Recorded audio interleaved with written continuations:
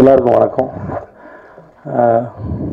Happy Valentine's day I love you all love you நான் sir சாருன்னு பேசினோன்னே யாரோ பெரிய ஆளுங்களை பற்றி பேச நினச்சிட்டு இருந்தேன். ஏன் என்ன போய் சாருன்னு சொன்னான்னு தெரில என்னை எப்பவுமே சகோ இல்லை பிரதர் தான் கூப்பிடுவார். நான் எதுவும் பார்க்கல. அதனால் எனக்கு அதை பற்றி என்ன சொல்கிறேன்னு தெரில ஆனால் இங்கே பேசின போஸ் எங்கள் சார் ரொம்ப அழகாக ஒரு சென்டென்ஸ் ஒன்று பயன்படுத்தியிருந்தார் அதில் ரொம்ப பெரிய நேர்மை இருந்ததுன்னு நினைக்கிறேன். ஒன்று வந்து முப்பத்தஞ்சு வருஷமாக நான் பார்த்த படத்துலேயே ரெண்டு நல்ல படம் பார்த்தேன். அதில் இந்த படம் ஒரு படம். அது இன்னொரு படம் என்ன படம்னு தெரியல அப்படின்னு சொன்னது. ரெண்டாவது ஒருவேளை நீங்களாம் ஓவராக நினச்சிட்டு போகிறீங்க இது அவருக்கு ரொம்ப பிடிச்சிருந்தது. பார்க்க போகிற உங்களுக்கு எப்படி இருக்குன்னு தெரில அப்படின்னு. அது தான் பேச்சில் இருக்கிற அந்த நேர்மை அவரோட படத்தில் இருக்கும் நான் முழுமையாக நம்புகிறேன் இருக்கிற கண்டென்ட் இருக்கு நான் நம்புகிறேன் எனக்கு எப்பவுமே ஒரு நம்பிக்கை இருக்கும். தொடுற பொருளில் நம்மளோட கைரேகை பதிகிற மாதிரி ஒரு மனுஷனோட சொல்லையும் செயல்லையும் அவனோட குணத்தோட ரேகை இருக்குன்னு நான் நம்புகிறேன் அந்த குணத்தோட ரேகையை தான் நான் அதில் பார்த்தேன் நான் நம்புகிறேன் அவர் பேசின பேச்சில். போசங்கர் சார் நான் வந்து மெட்டி வழியிலேருந்து நான் பார்த்துக்கேன் அப்போ அந்த சீல் ரொம்ப ஃபேமஸ்ஸு ஒரு மாதிரி ரொம்ப மேன்லியான ஒரு ஆள். ரொம்ப ட்ரஸ்ட் ஒத்தியான ஒரு மூஞ்சி. அவர் நான் ஒர்க் பண்ணும்போது சொல்லியிருக்கேன் நினைக்கிறேன் கவனில். ரொம்ப வாழ்க்கையில் மிக மோசமான கட்டத்தில் இருந்தால் கூட உங்கள் மூஞ்சியை பார்த்தா ஒரு நம்பிக்கை போகிறது ரொம்ப நம்பிக்கையான ஒரு முகம் சார் உங்களுக்கு. நல்ல ஒரு சதுரமான நம்ம ஊருக்கு மூஞ்சி உண்டான ஒரு அச்சு செய்யலாம் அப்படியே செஞ்சிடலாம் ஒரு மூஞ்சி. அவ்வளோ நம்பிக்கையான ஒரு முகம். கவன் படத்தில் வந்து கேவி சார் சொல்லிட்டு இருந்தார். அவர் எப்படி அந்த படத்துக்குள்ளே வந்தார்னு இவர் வந்து அந்த படத்துக்கான சாய்ஸே கிடையாது. கொஞ்சம் சொட்ட மண்டையோடு இருந்தால் ஒரு பொலிட்டிஷியன்ஸ் ரொம்ப நல்லாயிருக்கும் சொல்லும்போது நம்ம அடுத்து என்ன படம் பண்ண போகிறோம் இந்த வயசில் இவ்வளோ படம் பண்ணதுக்கப்புறம் ஒரு ஆடிஷன் மாதிரி ஒரு வேலை செய்யணுமா? அப்படிலாம் எதை பற்றியுமே யோசிக்காமல் மண்டே ஷேவ் பண்ணிட்டு போயிட்டு இது ஓகேவா இப்போ நான் பண்ணட்டுமான்னு கேட்டிருக்காப்புல. அந்த டெடிகேஷனு அதோட எல்லா வேலையிலும் இருக்கும் நான் நம்புகிறேன் அவரோட நடிச்ச சீன்லேயே இருந்தது. ஸோ அவருடைய குணத்தில் மொத்தமாக சேர்த்து சொல்கிறேன் இந்த படம் ரொம்ப நல்ல படமாக இருக்கும். நம்பி வாங்க. அனைவருக்கும் வாழ்த்துக்கள். நன்றி. அண்ட் ஹாப்பி வேலண்டைன்ஸ் டே முடிஞ்ச அளவுக்கு அன்பை மட்டுமே பரப்போம் ரொம்ப ஜாக்கிரதையாக பரப்போம் நன்றி. இறைவனுக்கு நன்றி. ரொம்ப மகிழ்ச்சியான ஒரு தருணம். எப்போ போஸோட பேசினாலும் மச்சானோட பேசினாலும் சினிமா பற்றியே தான் பேசிகிட்டு இருப்பான். ஒரு கதை சொல்லிகிட்டே இருப்பான். நீண்ட நாள் கனவு இன்றைக்கி நடந்திருக்கு. அந்த ட்ரெய்லரையும் பாடல்களையும் பார்க்கறதுக்கு முன்னாடி நல்லா இருந்தே ஆகணும் அப்படின்ற ஒரே ஒரு மனநிலையில் தான் உட்காந்து பார்த்தேன். ரொம்ப எளிமையாக ரொம்ப அழகாக எல்லாருமே ரொம்ப நல்லா பண்ணியிருந்தாங்க. இந்த படம் மிகப்பெரிய வெற்றி பெறும். போஸ் நினச்சது எல்லாமே நடக்கும். இந்த படம் அடுத்தடுத்த தளத்துக்கு போஸ் எடுத்துகிட்டு போவோம். என் மச்சான் பெருசாக ஜெயிப்பான். நன்றி வணக்கம். சத்தியமாக நான் எடுக்காம இல்லை. நான் வந்து நம்பர் மாறி இருக்கும்டா தம்பி. அண்ணன் பேசி எப்படா நான் எடுக்காம இருப்பேன்னு சொல்லி சங்கத்தை கேட்கும்போது நான் பண்ணி நீ எடுக்கல அப்படின்னா அதனால கண்டிப்பா நம்பர் மாறிடுச்சுன்னு நினைக்கிறேன். நானே கூப்பிடுறேன் அவங்கள்ட்ட. பேசுறேனே. தயவு செஞ்சு தப்பா நினைச்சுக்காதீங்க. நன்றி.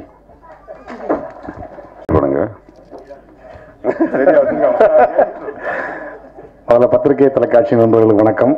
ரொம்ப சந்தோஷம். மற்ற இசை வெளியீட்டு விழாவை விட இது எனக்கு ரொம்ப பிரத்யேகமான இசை வெளியீட்டு விழா. அதில் முதல் நன்றி வந்து லியோனி அண்ணனுக்கு தான் சொல்லணும். ஏன்னா நிறைய ட்ராவல் அவரோட அண்ணனோட பண்ணியிருக்கேன். நிறைய ஊர் நிறைய ஃபாரின் ஷோஸ் பண்ணியிருக்கேன். சர்ப்ரைஸாக தான் இருக்கணும் அப்படின்னு சொன்னார். பட் நம்ம மாமாட்ட எப்படி சர்ப்ரைஸ்லாம் வைக்கிறது?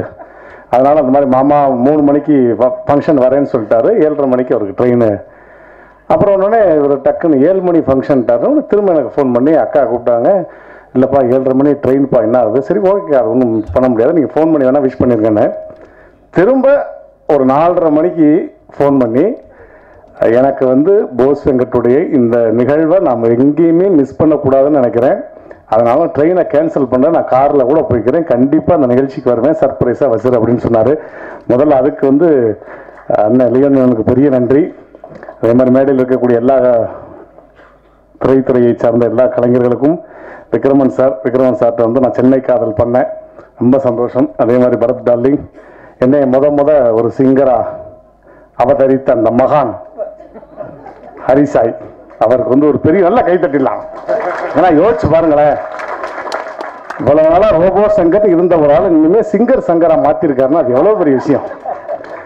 ஸோ அந்த கொடுப்பனை வந்து அவருக்கு தான். அதுவும் அது ஸ்க்ரீன்லேயே நான் போட சொல்லிட்டேன். இந்த பாடலை அடம்பிடித்து பாடியவர் ரோபோ சங்கர் போடுங்கன்னு சொல்லிட்டேன். அதனால அப்படித்தான் வரும். அதுக்கு வந்து இசையமைப்பாளருக்கு பெரிய நன்றி. அப்புறம் மாமா போஸ் வெங்கட் அவர் ஃபேமிலிக்கு என் ஃபேமிலிக்கு என்ன வந்து ரிலேஷன்ஷிப் என்ன ஒரு க்ளோஸான ரிலேஷன்ஷிப் அப்படிங்கிறது எல்லாருக்குமே தெரியும். ஆக்சுவலாக அவர் வந்து முதல்ல ஊரில் ஒரு ஆட்டோ டிரைவராக இருந்து சென்னைக்கு வரும்போது ஒரு இயக்குனர் ஆகணும் அப்படின்னு தான் அவருக்கு ஆசை. பட் டைரக்டர் ஆக முடியாமல் நடிகராகி அதுக்கப்புறம் சொன்ன மாதிரி இந்த ஒரு பதினெட்டு வருஷம் வந்து ட்ராவலிங்கில் பயங்கர ஸ்ட்ரகிள் அதை தாண்டி தன்னுடைய என்ன தொழில் நம்ம முத முத என்ன வேலை பார்த்தோம் ஒரு ஆட்டோ டிரைவருடைய கஷ்ட நஷ்டம் என்ன அவங்களுடைய வாழ் வாழ்வாதாரம் என்ன அதை மையப்படுத்தி தான் முதல் படம் பண்ணணும்னு சொல்லி அதே படத்தை பண்ணியிருக்காருன்னா அதுக்கு வந்து ஒரு பெரிய நன்றி. ஸோ அவருடைய முதல் படம் கண்டிப்பாக இது மிகப்பெரிய வெற்றி. என் வீட்டில் எந்த எந்த டிசிஷன் எடுத்தாலுமே அவரை கேட்காம அவங்க வீட்டில் கேட்காம எடுக்கவே மாட்டாங்க. நான் முத முத வந்து வாடகை வீட்டில் இருக்கும்போது ஒரு பைக் வாங்கணும்னு ஆசைப்பட்டேன். உடனே என் வீட்டில் இரண்டாம் உலக போரின் கடைசி குண்டு எங்கம்மா இருக்க? பின்னாடி தான் இருக்கியா பயந்துட்டேன். பைக்கா? என்னத்துக்கு? ஆட்டோவில் போக வேண்டியதான? ப்ரோக்ராம் கொண்டு வந்து பைக் என்ன உடனே அங்கேருந்து ஃபஸ்ட்டு ஃபோன் அவங்க அண்ணனுக்கு தான். அண்ணா ஒரு பைக் வேணும்னு கேட்குறாருன்னா என்னென்ன பண்ணுறது இல்லைம்மா வாங்கி கொடு. வாங்கினான்னா கண்டிப்பாக அந்த பைக்கு மூலயமா அவன் ஐநூறுரூவா சம்பளம் வாங்குறான்னா எண்ணூறுரூவா சம்பளம் வாங்குவான். அ- அந்த காசு அவனுக்கு வந்து அந்த டியூ கட்டிடுவான். எனக்கு நம்பிக்கை இருக்குது ஓகே பைக் வாங்கியாச்சு. அதுக்கப்புறம். யாரு? மை சகோ my sweetheart my darling thank you thanks for coming சகோ மக்கள் செல்வன் வந்தாலே அந்த இடத்துல அழகுதான். தான்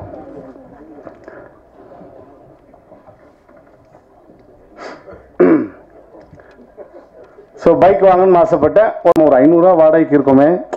ஒரு நாலாயிரரூவா வாடகைக்கு வ- வீடு வருது அங்கே போகலாம் நாலாயிரரூவா ரூபா மாதம் வாடகைக்கு இருக்கும் ஏண்ணா உடனே ஃபோன் ஏங்க என்னென்ன இப்படி நாலாயிரரூவா ரூபா வாடகைன்னா மாதம் நாலாயிரம் வண்டிக்கு டியூ என்னென்ன கட்டுறதுக்கு வீடு இந்த வீடை விட்டு அடுத்த வீடு போனால் அதுக்கு அடுத்து பெரிய வீடு வாங்க போகிறேன்னு அர்த்தம். தைரியமாக போ. போனதுக்கப்புறம் நமக்கு ஒரு ஆசை. எல்லாருமே காரில் போகிறாங்களே நம்மளும் ஒரு அட்லீஸ்ட் ஒரு சின்ன டபரா கார்லாவது போயிடுவோம் ஒரு நாலாவது அஞ்சாவது யூஸ் பண்ண காரை கூட இருக்கட்டும். பட் காரில் போகணும்னு ஆசை. குதிச்சுட்டா. யோசிச்சு பாருங்க பழைய வீடு அது. இப்போ குதிச்ச குதிக்கு ரெண்டாயிருக்கும் அப்படி உடனே ஃபோன் கார் வாங்கணுன்றார் இல்லை இல்லை கார் வாங்கினானா அவன் போய் இறங்கும் போது அவனுக்கு ஒரு மரியாதை இருக்குமா? போவான் கண்டிப்பாக அது அவனுக்கு சம்பாரிச்சு கொடுக்கும். அந்த மாதிரி தான் முதல் காரு இப்போ அதுக்கப்புறம் வாங்கினது அப்புறம் சொந்த வீடு வாங்கினது அப்புறம் ரெண்டாவது கார் வாங்கினது இப்போ கார் வாங்கின வரைக்கும் எல்லாமே அவருடைய டிசிஷன் இல்லாமல் எங்கள் வீட்டில் எதுவுமே சேங்ஷன் ஆகாது கையெழுத்து மட்டும் தான் நான் போடுறது. மற்றபடி வந்து எல்லா டிசிஷனும் அவருக்கு தான் ஸோ அந்த அளவுக்கு ரொம்ப குடும்பத்தில் நம்ம முக்கியமான ஒருவர் அன்பு மாமா போஸ் வெங்கட் அவருடைய முதல் படம் முதல் இயக்கத்தில் வரக்கூடிய படம். இது மிகப்பெரிய வெற்றி அடையணும்னு சொல்லி கடவுளை ப்ரே பண்ணிக்குவோம். தேங்க்யூ மாமா. I love you all thank you பெரிய சப்போர்ட் பண்ணுங்கள்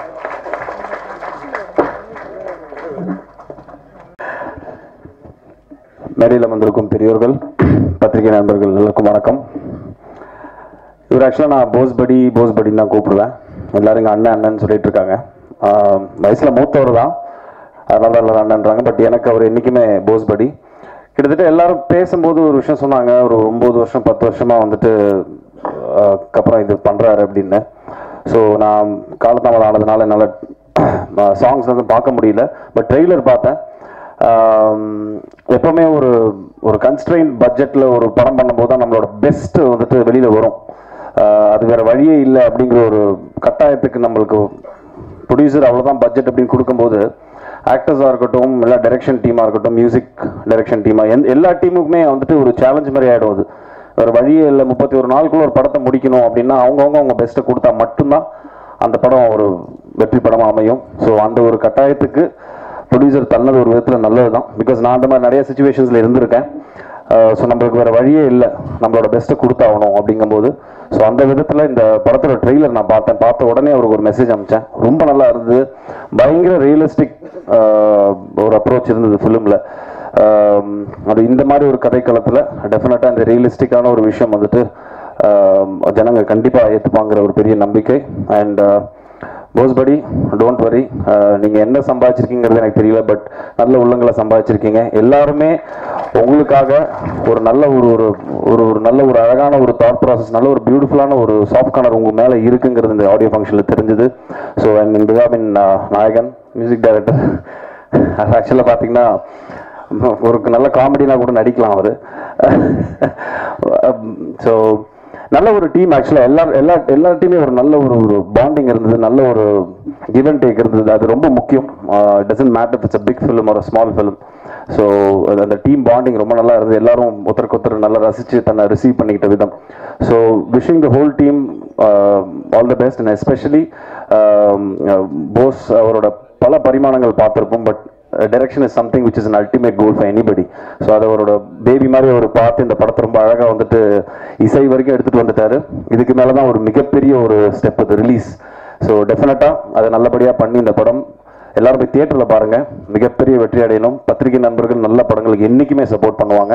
So wishing the whole team very all the best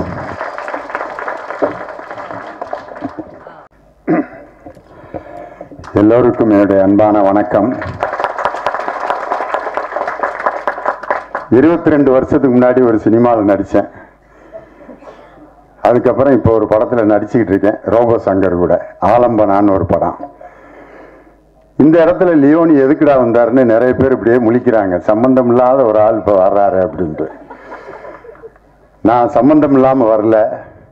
என்னுடைய அன்பு சகோதரர் போஸ் வெங்கட் அவர்களுடைய அன்புக்கும் பாசத்திற்கும் கட்டுப்பட்டு இந்த ஃபங்க்ஷனுக்கு நான் வந்தேன். என்னை அழைத்தது ரோபோ சங்கர். அழைப்புதலில் பேர் போட்டு அது இவ்வளவு அகலத்தில் போட்டால் தான் வருவோம். அப்படின்லாம் வம்பு பண்ணுற குரூப்புகளுக்கு மத்தியில் வாழ்ந்துக்கிட்டு இருக்கேன் நான்.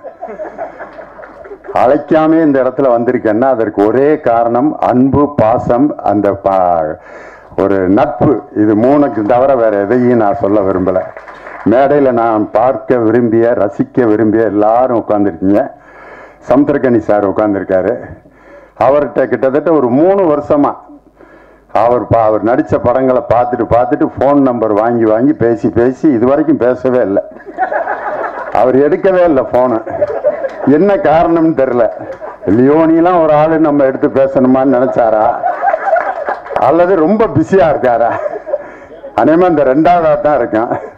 அதனால் மூணு வருஷமாக ஒரு கலைஞனை பாராட்டணும்னு நான் நினச்சி பாராட்ட முடியாமல் இது வரைக்கும் பெண்டிங்கில் இருக்கிறது சமுத்திரக்கணி சார் தான். அதனால் அவர் மேடையில் உட்காந்துருக்கிறத பார்த்துட்டு ரொம்ப சந்தோஷமாக இருக்குது ஒரு நல்ல கலைஞன். அவர் மேடையில் உட்காந்துருந்த பார்த்தா அதேமாதிரி ஒரு நல்ல டைரக்டர் மக்களுடைய பிரச்சனைகள் ரொம்ப அழகாக எடுத்து சொன்ன விக்ரமன் சார் காதல் படத்தில் திண்டுக்கல்ல எடுத்த படம் பரத்தோட படம். அந்த படத்தில் பாராட்டு விழா பாலாஜி சக்திவேல் திண்டுக்கல்ல வச்சுருந்தாரு. அப்போ பரத் மேடையில் சொன்ன விஷயம் நான் அந்த படத்தில் அந்த மதுரை ஸ்லாங் பேசுகிறதுக்கு உங்களுடைய ஆடியோ கேசட் போட்டு கேட்டு கேட்டு தான் சார் அந்த ஸ்லாங்கை நான் பழகினேன் அப்படின்னு பரத் சொன்னது இன்னைக்கு எனக்கு பசுமையான நினைவுகளாக இருக்கு. ஒரு நடிகருக்கு ஒரு ஸ்லாங்கை பழக்கி கொடுக்கறதுக்கு என் ஆடியோ கேசட் உதவி இருக்குன்னா அது மாதிரி ஒரு பெரிய சந்தோஷம் வேறு எதுவும் இல்லை. இந்த படத்தில் அருமையாக என்னுடைய பலகால நண்பர் த- நண்பர்னு சொல்ல முடியாது என் தம்பி ரோபோ சங்கர் சொந்த குரலில் ஒரு முதல் பின்னணி பாடகராக பாடியிருக்காரு. தொடர்ந்து அவர் நிறைய பாடல்கள் பாடணும்னு என்னுடைய அன்பான வாழ்த்துக்களும் ஆசையும். அவர் ஏதோ பா- பாடின பாட்டை வந்து நாங்கள் ஷூட்டிங்கில் நடிச்சிட்டு இருக்கும்போது என்கிட்ட மொபைலில் போட்டு காமிச்சார்.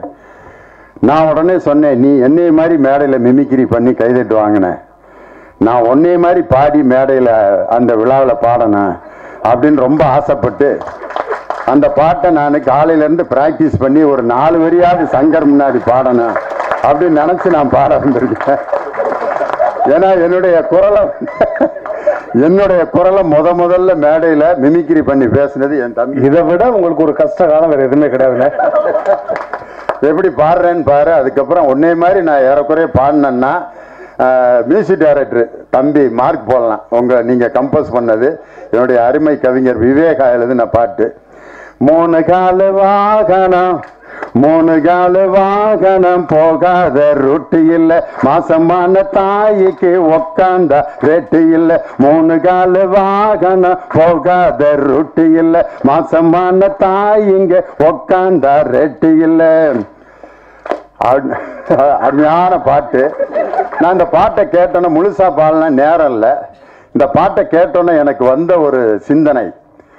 ரிக்ஷாக்காரர்களுக்கு எத்தனையோ பாடல்கள் எழுதியிருக்கிறார்கள். அதில் வந்து அந்த கைரிக்ஷாவுக்காக முதலில் பாட்டு எழுதிய முதல் கவிஞன் மக்கள் கவிஞர் பட்டுக்கோட்டை கல்யாண சுந்தரம் பதிபக்திங்கிற படத்தில் எழுதினார். தர்மம் என்பார் நீதி என்பார் தரம் என்பார் சரித்திரத்தை சான்று சொல்வார். தாயன்பு பெட்டகத்தை சந்தியிலே எரிந்து விட்டு தன்மான வீரர் என்பார் மர்மமாய் சதி புரிவார் வாய் பேசா அபலைகளின் வாழ்வுக்கு நஞ்சு வைப்பார். கர்மவினை என்பார் பிரம்மன் எழுத்தென்பார். கடவுள் மேல் குற்றம் என்பார். கர்மவினை என்பார் பிரம்மன் எழுத்தென்பார். கடவுள் மேல் குற்றம் சொல்வார். ஆ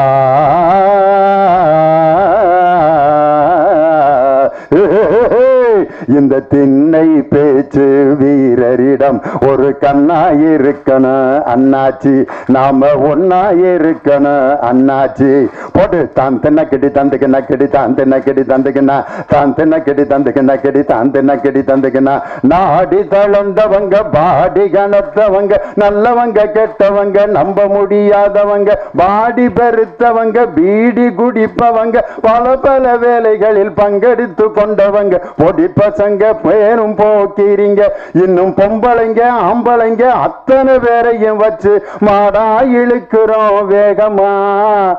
எங்க வாழ்க்கை கிடக்குது ரோட்டோரமா. வண்டிய உருட்டி வறுமைய விரட்டி உண்டாலும் காய்ந்தாலும் ஒன்னாகணும் அப்படின்னு பட்டுக்கோட்டை கல்யாண சுந்தரம் எழுதினாரு. அதுக்கப்புறம் எம்ஜிஆர் அவர்கள் ரிக்ஷாக்காரன் ஒரு படத்துல நடிச்சாரு. அதுல ரிக்ஷால பாட்டு எதுவுமே இல்லை. ஆனா அந்த படத்துல நடிச்சதுக்காக பொன்மன செம்மல் எம்ஜிஆர் அவர்களுக்கு பாரத் பட்டம் கிடைச்சிச்சு. ரிக்ஷா வண்டி ஓட்டி நடித்ததுனால அதுக்கடுத்து நடிகர் திலம் சிவாஜி கணேசன் பாபு என்ற படத்தில் இந்த கை ரிக்ஷா ஒரு பாட்டு பாடியிருப்பார். அந்த பாட்டு கவிஞர் வாலி எழுதின பாட்டு. அந்த பாட்டுக்கு அந்த சமயத்தில் வந்து தமிழகத்தினுடைய சிறந்த பாடலுக்கான விருது கவிஞர் வாலி சாருக்கு வழங்கப்பட்டது. வரதப்பா வரதப்பா கஞ்சி வரதப்பா எங்கப்பா வரதப்பா வரதப்பா கஞ்சி வருதப்பா கஞ்சி களையன் தன்னை தலையில் தாங்கி வஞ்சி வருதப்பா. அதில் ஒரு மத ஒற்றுமைக்கான செய்தியை வாலி இணைச்சிருப்பார். குலாம் காதர் குலாவிலே கறி கிடக்குது.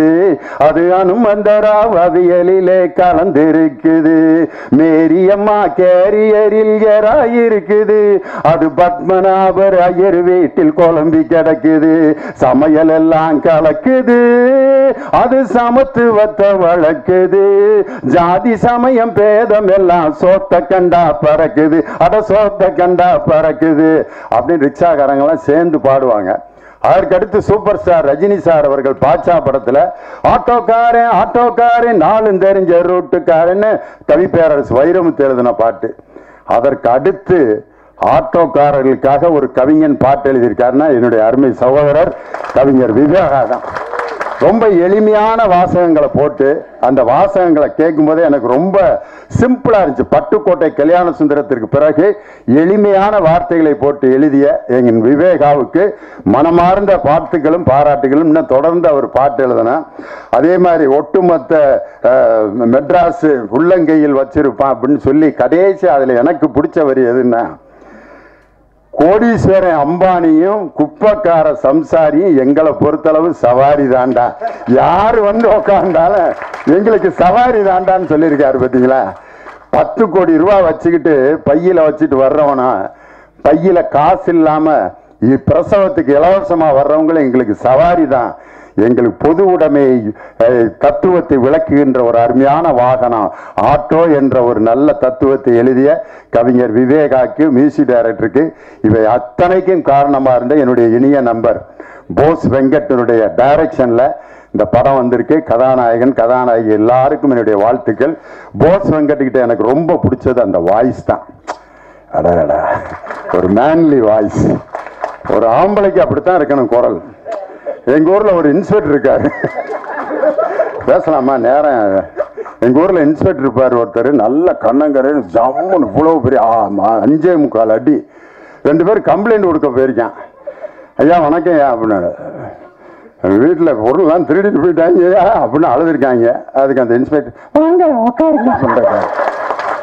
அவனுங்க ரெண்டு பேரும் நாங்கள் நாங்களே தேடி கண்டுபிடிச்சிக்கிறோமுங்க இப்படி ஒரு இன்ஸ்பெக்டர்கிட்ட கம்ப்ளைண்ட் கொடுக்கறதுக்கு நாங்கள் பேசாமையாவது இருந்துறோம். இல்லை சும்மா கொடுங்க நாங்கள் கண்டுபிடிச்சிடறோம். பண்ணிருக்காரு. ஐயா வேணாம் ஐயா. உன்னைய பார்த்தாலே திருடங்க எல்லாம் ஓடி போயிடுவாங்க. இல்லாட்டி உன் கூட சேர்ந்து அவனுங்களும் திருட ஆரம்பிச்சிருவாங்க. நாங்கள் கிளம்புறோம் ஏன்ட்டாங்க.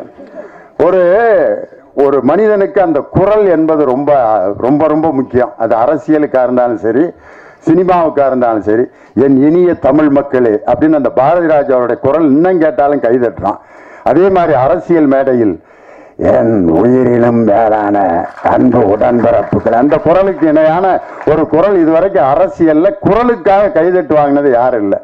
சினிமாவில் அது மாதிரி ஒரு சில குரல்கள் இன்னும் பேசினாலும் கைதட்டுவாங்க ஏய் bloody nonsense one and once one a time எவன்டா நான் சொல்றதை கேட்க மாட்டேன்டா பிளேடி நான்சென்ஸ் யாருன்னே சொல்லலை. நீங்கள் பாட்டு கைதட்டிட்டீங்க அப்போ அந்த குரல் எப்படி ஜெயிச்சிருக்குன்னு பாருங்க. அப்படிப்பட்ட ஒரு மேன்லி வாய்ஸ் எங்கள் போஸ் வெங்கட்டுக்கு அவர் பேரை பாருங்க. போஸ் வெங்கட்.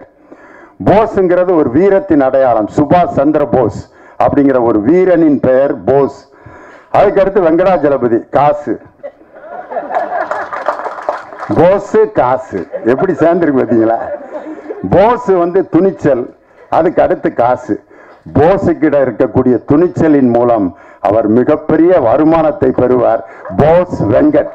அதனால் அந்த துணிச்சலான ஒரு நடவடிக்கை ஒரு அருமையான இயக்கத்தின் முதல் படியை எடுத்து வைத்திருக்கிறார் கன்னி மாடம் என்ற படம். துளசி மாடம்னு ஏற்கனவே ஒரு படம் வந்துச்சு.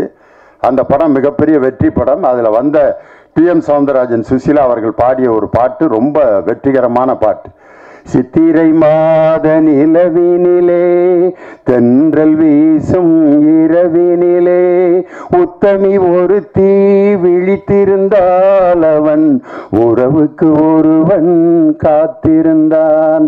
துளசி மாடம்ங்கிற படத்துல பாட்டு. அந்த துளசி மாடம் எப்படி வெற்றி பெற்றதோ அதை விட பன்மடங்கு இந்த கன்னி மாடம் வெற்றி பெற்று என் இனிய நண்பன் போஸ் வெங்கட். இயக்கத்தில் ஒரு மாபெரும் முத்திரையை பதிக்க வேண்டும். என் அருமை தம்பி ஆட்டோ சங்கர் ஆட்டோ சங்கர்னு சொல்லிட்டேன் பார்த்தீங்களா ஆட்டோ பாடுற மாதிரி. ஐயோ சாரி தம்பி மனுஷங்க தம்பி. ஐயோ பதிவு பண்ணிட்டேனே. ஆட்டோ சங்கரில் ஆட்டோ பாட்டு பாடிய ரோபோ சங்கர். ஆன்மீக இயக்குனர் கே சங்கர். மிகப்பெரிய பிரம்மாண்ட இயக்குனர் நம் மிகப்பெரிய சங்கர். மக்கள் கலைஞர் ஜெய்சங்கர். என்றும் எங்கள் கலைஞர் என் ரோபோ சங்கர். அப்படிப்பட்ட ரோபோ சங்கர் பாடிய ஒரு பாடலை என்னுடைய ஆடியோ லான்ச்சுக்கு வந்து நான் கலந்து கொண்டதற்கு மிகவும் மகிழ்ச்சி அடைகிறேன். நான் என் வாழ்க்கை வரலாற்றில் முதன்முறையாக கலந்து கொண்ட இசை ஆடியோ வெளியீட்டு விழா இதுதான். அதனால் இது எனக்கு ஒரு பெரிய மகிழ்ச்சியான ஒரு தருணமாக இருக்கிறது. ஆலம்பனா என்ற ஒரு படத்தில் ஒரு தாத்தா கேரக்டரில் நடிச்சிருக்கேன். நடிச்சுக்கிட்டு இருக்கேன் இப்போ. ரொம்ப அற்புதமான கேஜேஆர் ஸ்டுடியோஸ். இருபத்தி ரெண்டு வருஷம் கழிச்சு ஒரு கேரக்டர் நல்ல கேரக்டர் கொடுத்துருக்காங்க. அதில் என்னால் முடிந்தவரை நடித்து கொண்டிருக்கிறேன். சினிமாவில் நடிக்கிறது எவ்வளோ கஷ்டன்ட்டு அந்த கேமரா முன்னால் நின்ன பிறகு தான் தெரிஞ்சு. மேடையில் பேசிடலாம் மூணு மணி நேரம் இம்மிடியட் ரிசல்ட் கிடச்சிக்கிட்டே இருக்கு நம்ம அடிக்கிற ஜோக்குக்கு டக்குன்னு உடனே இம்மிடியட் ரெஸ்பான்ஸ் சினிமாவில் அதெல்லாம் கிடையாது. நம்ம என்ன நடித்தாலும் இப்படியே தான் பார்த்துக்கிட்டே இருப்பாங்க கேமராக்காரங்கள்லாம் அதில் ரொம்ப நான் கஷ்டப்பட்டு இந்த ரியாக்ஷன் ஒன்று கொடுப்பா கொடுக்க சொல்லுவாங்க பாருங்க டைரக்டரு சார் கொஞ்சம் வேதனைப்படுற மாதிரி ரியாக்ஷன் கொடுங்க சார் அப்படின்னாரு. நான் அப்படியே வேதனை. என்னையால் முடிஞ்ச வேதனையை நான் பட்டேன். அப்புறம் கிளிசரின்லாம் தடவி விட்டாங்க. கண்ணு தான் கலங்குதே ஒழிய வேதனை வரமாட்டேன்ருச்சு சார் யாரோ திருடிட்டு முழிக்கிற மாதிரி இருக்குது சார். இன்னும் கொஞ்சம் வேதனையை நல்லா படுங்க சார்னு அந்த டைரக்டர் பாரி கே விஜய் வேதனையை வாங்கணும்னு எவ்வளோ முயற்சி பண்ணார். அப்புறம் உங்கள் வீட்டில் நடந்த ஒரு சோகமான சம்பவத்தை நினச்சிக்கிட்டே வேதனைப்படுங்க சார்னு சொன்னார். அதுக்கப்புறம் தான் வேதனை வந்துச்சு. Okay okay yes yes this is வேதனை திஸ் இஸ் வேதனைன்னாரு. பன்னெண்டே முக்காலுக்கு எடுக்க வேண்டிய வேதனை ஒன்று ஐம்பதுக்கு எடுத்து முடித்தாங்க இது மேடையில் எனக்கு கிடையாது. முக்கால் மணி நேரத்தில் முடிச்சுட்டு போயிடுவேன் என் வேலையை. ஆனால் அப்படிப்பட்ட ஒரு கஷ்டத்தையும் இந்த சினிமா நடிகர்கள் எவ்வளவு கஷ்டப்படுகிறார்கள் என்பதை உணர்வதற்கு ஒரு வாய்ப்பு இப்போ நான் நடிச்சிட்டு இருக்கிற படம். அதனால் இந்த அருமையான சந்தர்ப்பத்தை வழங்கி அதிக நேரம் எடுத்துக்கிட்டேன். நிறைய பேர் பேசுகிறதுக்காக காத்திருக்காங்க. அப்பதான் எல்லோரும் சினிமாக்காரங்களாம் யோசிப்பாங்க இந்த பேச்சாளர்களை கூட்டி வந்தால் இதே தான் நேரத்தை ஒப்பேத்திடுவாங்க. அவங்கள நிப்பாட்டுன்னு சே- பேப்பர் வைக்கிற வரைக்கும் பேசிகிட்டே இருப்பாங்க அப்படின்னு சொல்லுவாங்க. அந்த நிலைமை வரைக்கும் வராமல் மீண்டும் மீண்டும் என் அன்பு நண்பர் என்னுடைய திராவிட சிந்தனையில் என்னோடு ஊறிய என் அன்பு சகோதரன் போஸ் வெங்கட்டின் இந்த கன்னி மாடம் ஒரு மிக பிறந்த வெற்றி பெற்ற படமாக மக்களின் ஏகோபித்த பாராட்டு பெற்ற படமாக வளர வேண்டும் வாழ வேண்டும் மிகப்பெரிய நல்ல படமாக வெற்றி அடைய வேண்டும் என்று வாழ்த்தி விடைபெறுகிறேன். வணக்கம். நான் சொல்ல போவது என்னோட வாழ்க்கையில் எனக்கு வந்து ஃபஸ்ட்டாக ஃபஸ்ட்டாக அவர் அவர் படமே வந்து ஒரு ப்ரொடியூசர் கதை கேட்கும்போது எல்லா நாளிலும் ஷூட் நடந்த எத்தனை நாள் இருந்தாலும் எல்லா நாளிலும் ஷூட்டிங் ஸ்போர்ட் அட்டன் பண்ணுற ஆள் தான் நான். ஒரு படத்தோட லொக்கேஷனோட ஜாஸ்தியாக ஒரு படத்தோட லொக்கேஷன் இல்லாமல் ஒரு வீடு மாதிரி. எப்பவுமே நான் போனால் எல்லாரு கூடயும் கலந்து பேசி அவங்க கூடயே உட்கார்ந்து சாப்பிட்டு அதுதான் என்னோட பழக்கமே. எனக்கு வந்து யாரையும் வந்து கேரவன் இருந்தாலும் எனக்கு கேரவனில் உட்கார்றதுக்கு இல்லை. கேட்டால் சொல்லுங்க சார் உங்களுக்காக தான் கேரவன் எனக்கு கேரவனே தேவையில்லையே. நான் கேரவனுக்கு உட்கார வரல. நான் வந்து இதுக்குள்ளே வந்து இவங்கள ஒரு ஆளாக உட்காந்துக்கிட்டு இது பண்ணுறதுக்கு இது எப்படி முன்னால் போகுது? ஏன்னா நான் வந்து இந்த படமாக ஆல்ரெடி நான் பார்த்தாச்சு என் கண்ணில். எனக்கு கதையோட ஜாஸ்தி நான் படம் பார்த்தாச்சு. அது வந்து எப்படி நம்ம வந்து இது செய்ய போகிறது நடக்கிறது எப்படி இது என்ன ஷூட்டிங் எப்படி போகிறதுங்கிறது பார்க்கறது தான் என்னோட மற்ற எல்லாமே வேலை. படத்துனா எப்பவுமே வந்து ஒரு கப்பல் மாதிரி தான் அதுக்கு வந்து நல்லா ஒரு கேப்டன் வேணும் ஒரு சீஃப் வேணும். அதோடு ஜாஸ்தியாக வந்து க்ரூஸ் அது ஒரு பெரிய விஷயம். இவங்க எல்லாமே சேர்ந்தா தான் ஒரு கப்பல் வந்து அதுக்குங்கிற ஒரு பேருமே அது நல்லா ஒரு இடத்துல போய் சேரவும் முடியும். அது வந்து நம்ம செட்டில் அப்படியே நடந்துருச்சு. அது மாதிரி தான் இது மாதிரி ஒரு பியூட்டிஃபுல்லான ஒரு மூவி வந்து நம்ம எல்லாருடைய எஃபர்ட்டில் வந்து இது வந்து ரெடியாக இருக்குது இப்போ வந்து ரிலீஸிங்க்கு வந்து வர போகிறோம் அதோட ஆடியோ லான்ச் ஃபங்க்ஷன் தான். அப்போ இருக்கிற எல்லாருமே இந்த படத்தை நல்லா ஆசீர்வாதம் பண்ணி தியேட்டரில் போய் உட்காந்து இந்த படம் என்னங்கிறது நீங்களே பார்த்து எல்லாருமே எப்போவுமே சொல்கிறது தான் நம்ம நம்ம படத்தை பற்றி நம்ம ஜாஸ்தியாக பேசுவோம் நல்லதான் பேசுவோம் அப்படின்னு. இது அப்படி கிடையாது. உங்களுக்கே பார்த்தா தெரியும். இது ப்ரொடியூசர் என்ன பேசியிருக்குதோ அதுதான் இந்த படம்னு உங்களுக்கு பார்த்தா தெரியும். ஓகே தேங்க்யூ வெரி மச் எல்லாருமே இங்கே வந்து இங்கே கலந்து கொள்வதற்கு ரொம்ப நன்றி. தேங்க்யூ சார் அடுத்ததாக நம்மளோட படக்குழுவினர் ஒரு ஒருத்தரையும் ப்ரொடியூசர் அவர்கள் பூங்கத்து கொடுத்து வரவேற்பார். முதலாவதாக நீங்கள் பார்த்த இந்த விஷுவலை அழகாக எடிட் பண்ணி கொடுத்த எடிட்டர் விஷால் ஜெய்னி அவர்களை மேடைக்கு அழைக்கிறோம்.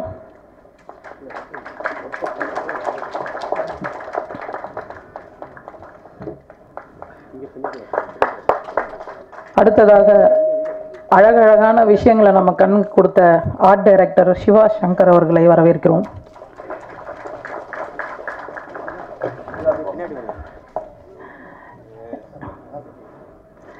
எப்படி ஒரு ஓவியத்துக்கு அழகு வந்து கண்ணும் அந்த மாதிரி இந்த திரைப்படத்திற்கு அவ்வளோ அழகான விஷுவலேஷன் கொடுத்த எங்களோட கேமராமேன் இனியன் ஜே ஹாரிஷ் அவர்களை பெருமையுடன் அழைக்கிறோம்.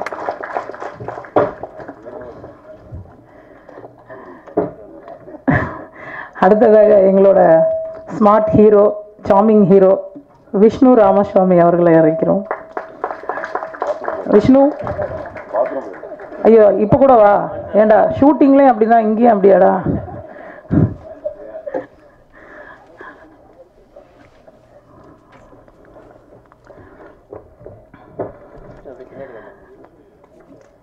அடுத்ததாக எங்களோட ஆட்டோ ராணி வலினா பிரின்ஸ் அவர்களை மேடைக்கு அழைக்கிறோம்.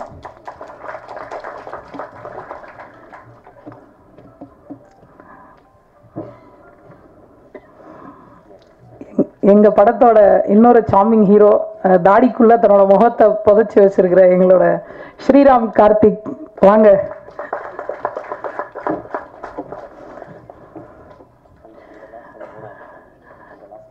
அடுத்- அடுத்ததாக இந்த படத்துல அதிகமான பட்ஜெட் செலவு கொடுத்த ஹீரோயினி கிளிசரின் வாங்கியே ப்ரொடியூசரோட பெட்டியில் கேஷ் காலி ஆயிடுச்சான் ஸோ எங்களோட கண்டுபிடிப்புகளில் ஒரு முத்தான முத்து சாயாதேவி அவர்களை மேடைக்கு அழைக்கிறோம்.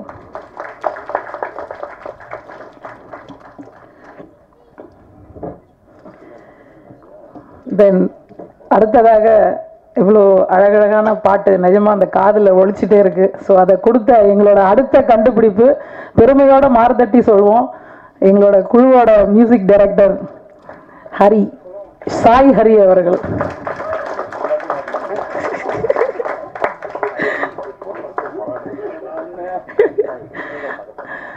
அதே மாதிரி இன்னொரு ஜாம்பவான் நிஜமா நான்லாம் அவரோட பர்ஃபாமன்ஸ்லாம் ஸ்டேஜில் பார்த்து கை தட்டியிருக்கேன்.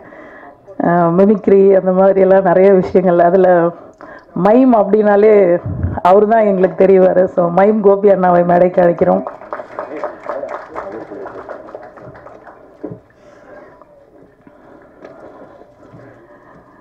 அடுத்ததாக எங்களோட கன்னி மாடத்தின் தாய். ஏன்னா ஒரு குழந்தை வந்து எப்படி பத்து மாதம் அவங்க அம்மா வயிற்றுல சுமந்து பெற்று அந்த சந்தோஷப்படுவாங்களோ அந்த மாதிரி பத்து வருட தன்னோட மனசில் சுமந்து அப்படி ஒரு உருக்கமான விஷயத்தை சுமந்துட்டு இருந்த எங்களோட அன்பு அண்ணன் எங்களோட இனிய டைரக்டர் ஏன்னா திட்டு வாங்காமல் நடித்தோம் நாங்கள் இந்த படம் ஃபுல்லாகவே ஸோ இயக்குனர் போஸ் வெங்கட் அண்ணா என்னோட செல்லக்குட்டி. அவரை மேடை கிடைக்கிறோம்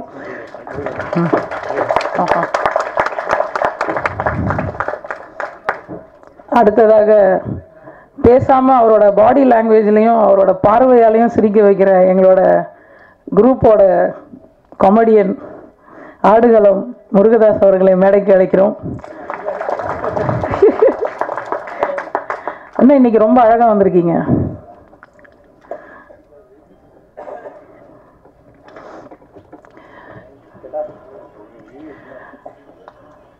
ஸோ இன்னும் பத்தாவது போல இருக்கு. இந்த கன்னி மாடத்தில் இத்தனை பூக்கள். ஸோ அதனால ஸ்பெஷல் பூக்களான ஃப்ரெஷ்ஷான பூக்கள்களை எல்லாம் கூப்பிட்டுறோம் நாங்கள் ஸோ இந்த பாட் இந்த படத்துக்கு அழகான பாடல் வரிகளை எங்களுக்கு கொடுத்த விவேகா சாரை மேடைக்கு அழைக்கிறோம்.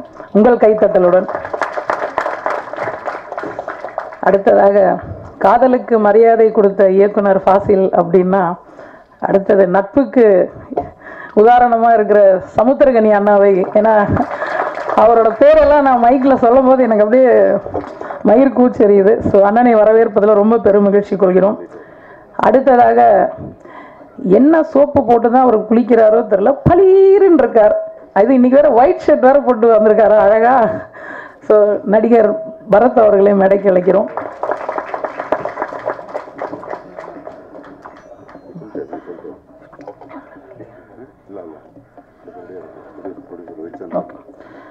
அடுத்ததாக தயாரிப்பாளர் ரவிச்சந்திரன் ஐயா அவர்களை மேடைக்கு அழைக்கிறோம்?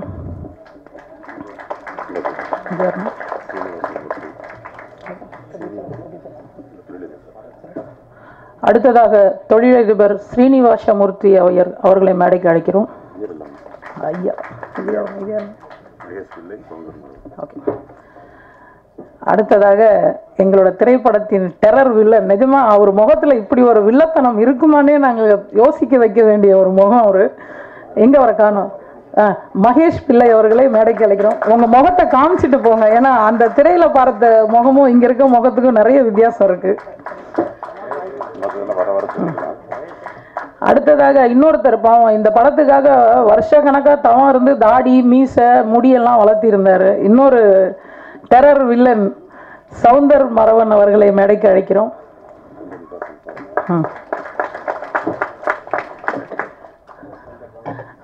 ஓ இந்த ஆடியோலாம் கேட்டிருப்பீங்க. அதில் பார்த்தீங்கன்னா ஒரு பாட்டு நிஜமாக ஆட வைக்க வேண்டியது மாதிரியான ஒரு சாங்காக இருந்தது. அந்த பாட்டை அழகாக நமக்கு கொடுத்த பாடகர் ஆண்டோனி தாசன் அவர்களை மேடைக்கு அழைக்கிறோம். ஏன்னா நாட்டுப்புறத்துக்கு அந்த இசைக்கு மரியாதையும் மகத்துவத்தையும் கொடுத்து கொண்டிருக்கவர்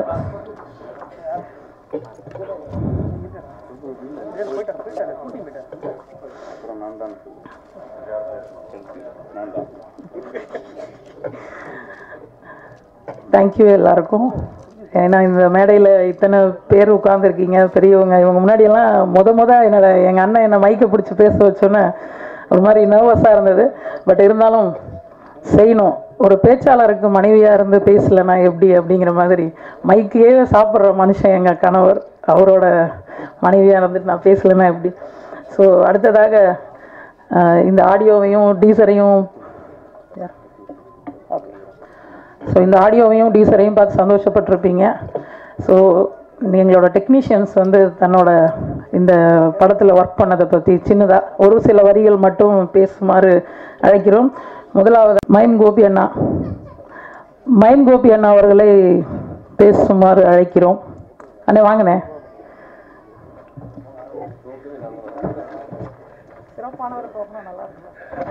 அனைவருக்கும் வணக்கம். பெரும் மகிழ்ச்சி உண்மையிலே தொகு தொகுப்பாளருக்கு பெரிய வாழ்த்துக்கள் சொல்லிக்கலாம். ரொம்ப ரொம்ப கஷ்டங்க. அது ரொம்ப அழகாக பேசுகிற மக்களுக்கு பெரிய வாழ்த்துக்கள்.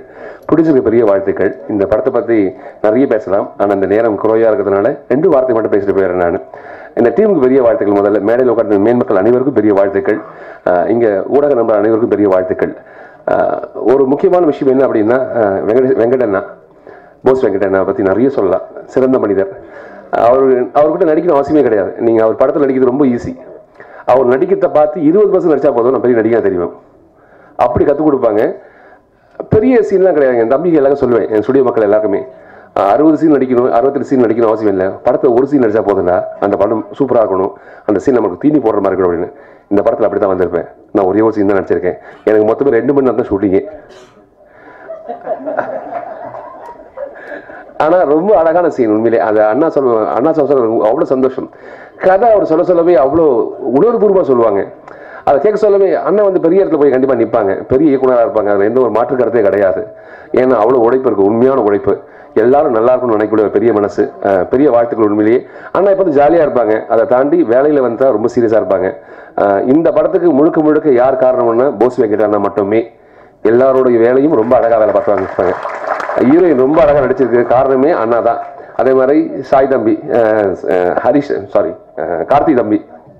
ரொம்ப சூப்பர் பர்ஃபார்ம் பண்ணியிருந்தாங்க. அங்கே பார்க்க சொல்ல உண்மையிலே அங்கேயே இருப்பாங்க. மண்ணில் போராடுறது அப்படி தான் இருந்தாங்க. யார் ஹீரோன்னு கேட்டாங்க தம்பி சொன்னாங்க. அப்போ தாடி ஃபுல்லாக இருக்கும். நாங்களே தாடி வச்சிருப்போம். நாங்களே எங்கள் முகத்தை தேடுவோம். அது மாதிரி தான் அவன் முகத்தை தேடுவோம் தம்பி முகத்தையும். அவ்வளோ அழகாக பர்ஃபார்ம் பண்ணாங்க. நான் ஒரே ஒரு சீன் தான் நடித்தோம் நாங்கள் நடிக்க சொல்லவே அவ்வளோ சந்தோஷமாக இருந்துச்சு. லைவாக இருந்துச்சு படம். அதுக்கு பெரும் மகிழ்ச்சி உண்மையிலே இந்த படத்தில் நானும் நடிக்கிறதுக்கு வாய்ப்பு கொடுத்ததுக்கு போஸ் எனக்கு பெரிய வாழ்த்துக்கள். மியூசிக் சூப்பராக இருந்தது தம்பியா. கேமரா சூப்பராக இருந்தது. அனைவருக்கும் பெரிய வாழ்த்துக்கள். வாழ்க வளமுடன். மகிழ்ச்சி.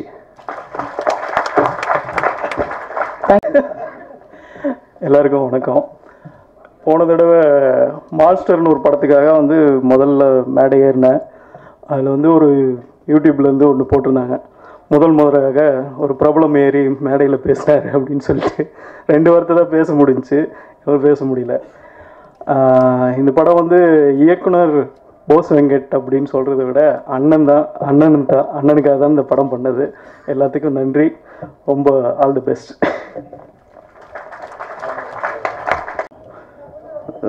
தமிழ் பேசுறது கொஞ்சம் கஷ்டம் இருக்குது இந்த கன்னிமாடம் படத்துக்கு ஒரு சான்ஸ் அரசியங்கள் டைரக்டர் போசனாக மற்றும் சப்போர்ட் பண்ணிய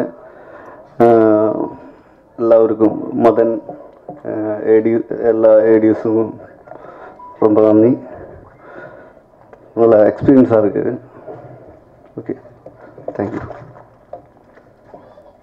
அவர்களை மேடைக்கு அழைக்கிறோம் ரெண்டே ரெண்டு வார்த்தை ஃபஸ்ட் நான் தேங்க்ஸ் சொல்லிக்கிறேன்.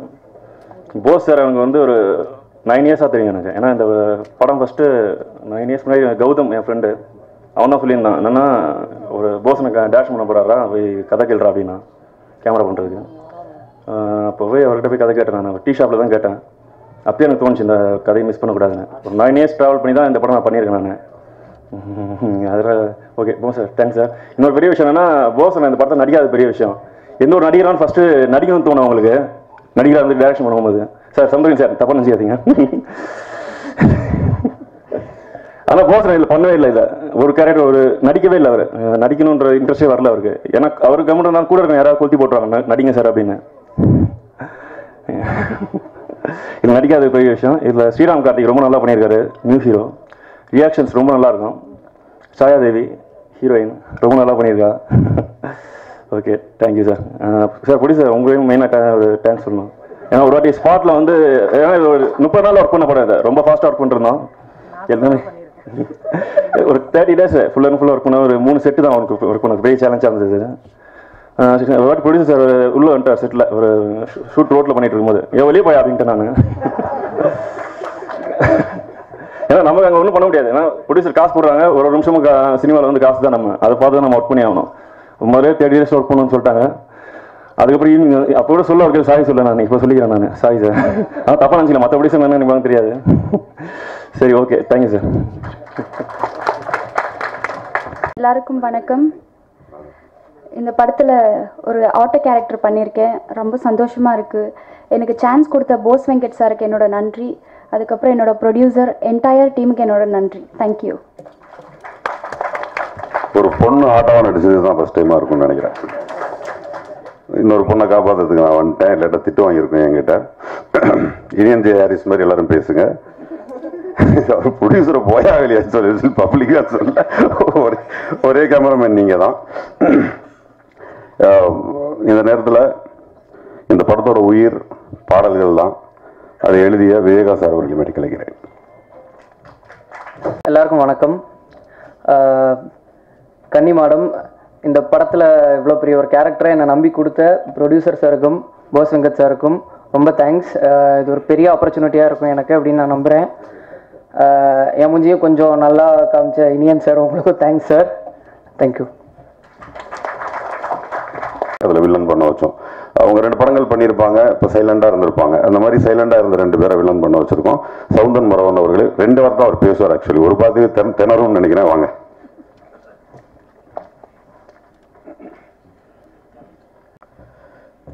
எல்லோருக்கும் வணக்கம் நன்றி ரெண்டு வார்த்தை இதை சொல்லிட்டு போயிட்டார் அடுத்து மகேஷ் பிள்ளை அவர்களை மேடை கிளைக்கிறோம் என்னுடைய இனிய நண்பர் மிகச்சிறந்த நடிகர் பத்தாயிரம் ரூபாய் பணம் கொடுத்து கூட்டு வந்திருக்காரு கை தட்டுறதுக்கு. அவர்களை மேடை கழிக்கிறோம் உங்களுக்கு மிகப்பெரிய எதிர்காலம் இருக்கிறது. ஆமாம் ஏன்னா இப்படி கைதட்டல் வாங்குறது ரொம்ப கஷ்டம்.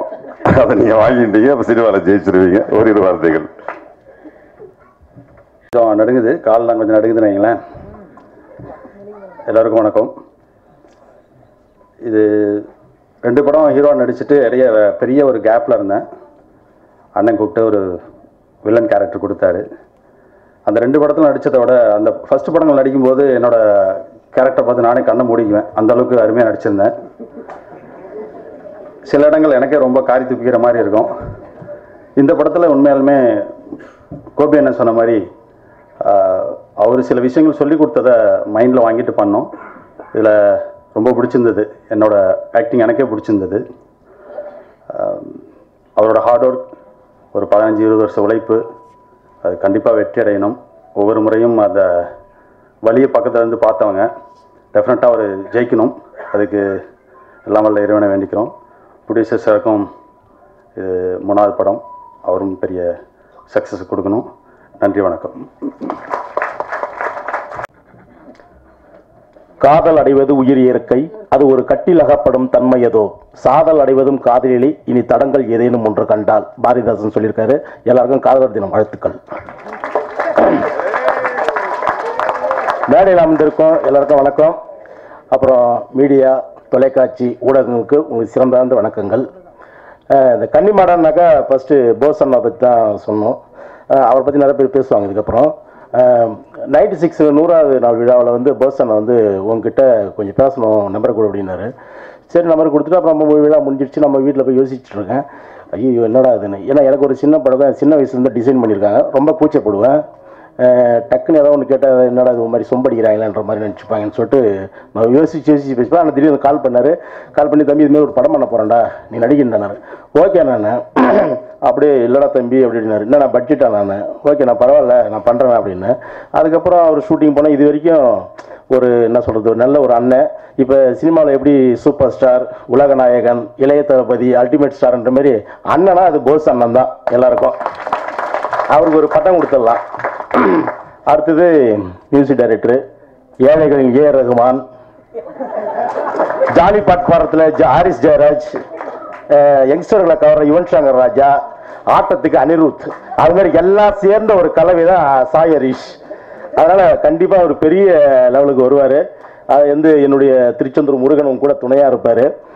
அடுத்தது ப்ரொடியூசர் சார் ஃபஸ்ட்டு போஸ் அண்ணன் இவர் தான் ப்ரொடியூசர்னு நான் வந்து வணக்கம் முதலாளி அப்படின்னேன் இந்த முதலாளியோட பறஞ்சிடும் நானும் ஒரு ஒரு ஃப்ரெண்டாக இருந்தேன் அப்படின்னாரு. அன்னையிலேருந்து இது வரைக்குமே ஃப்ரெண்டாகவே தான் இருக்காரு. சார் ரொம்ப தேங்க்ஸ் சார் இன்னொன்று இது ரொம்ப அந்த பட்ஜெட் படம் சின்ன படம் பெரிய படம் அப்படின்னு சொல்கிறதுல சின்ன சின்ன படங்களை வந்து நீங்கள் தான் கொஞ்சம் சப்போர்ட் பண்ணி எல்லாம் தூக்கி போயிட்டு வே வேறு இடத்துக்கு எடுத்துகிட்டு போகணும். இல்லைனாக்கா பெரிய படம்லாம் வந்து ஃப்ளைட்டு மாதிரி. ஏறி பைலட் சாவி படம்னா சொர்றன்னு அதுக்கு ஒரு பாதை இருக்குது நேராக போய் அந்த இடத்துல தங்கிடும். சின்ன படம்லாம் வந்து பட்டா வர்ற மாதிரி அதுக்கு மாஞ்சா போட்டுக்கின்னு அதை கட்டிக்கின்னு வால் கட்டி ஈத்துக்கின்னு அதை தூக்கி பறக்க விடுறதுக்குள்ள போதும் போது ஆகி போகுது. அதனால தயவு செஞ்சு சின்ன படத்துக்கு எல்லாருமே ரொம்ப சப்போர்ட் பண்ணுங்க. இப்போ அந்த அண்ணன் அன்புமணி அண்ணன் கூட இந்த சின்ன படத்துக்கு வந்து முதலமைச்சரை சந்திச்சு இதுக்கான ஒரு வழி கிடைக்குமான்னு சொல்லிட்டு ஒரு இயங்கிட்டு இருக்கோம்.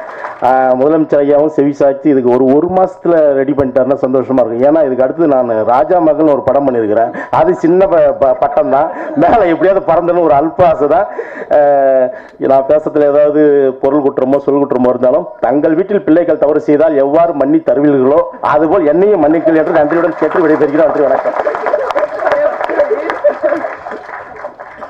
இதைத்தான்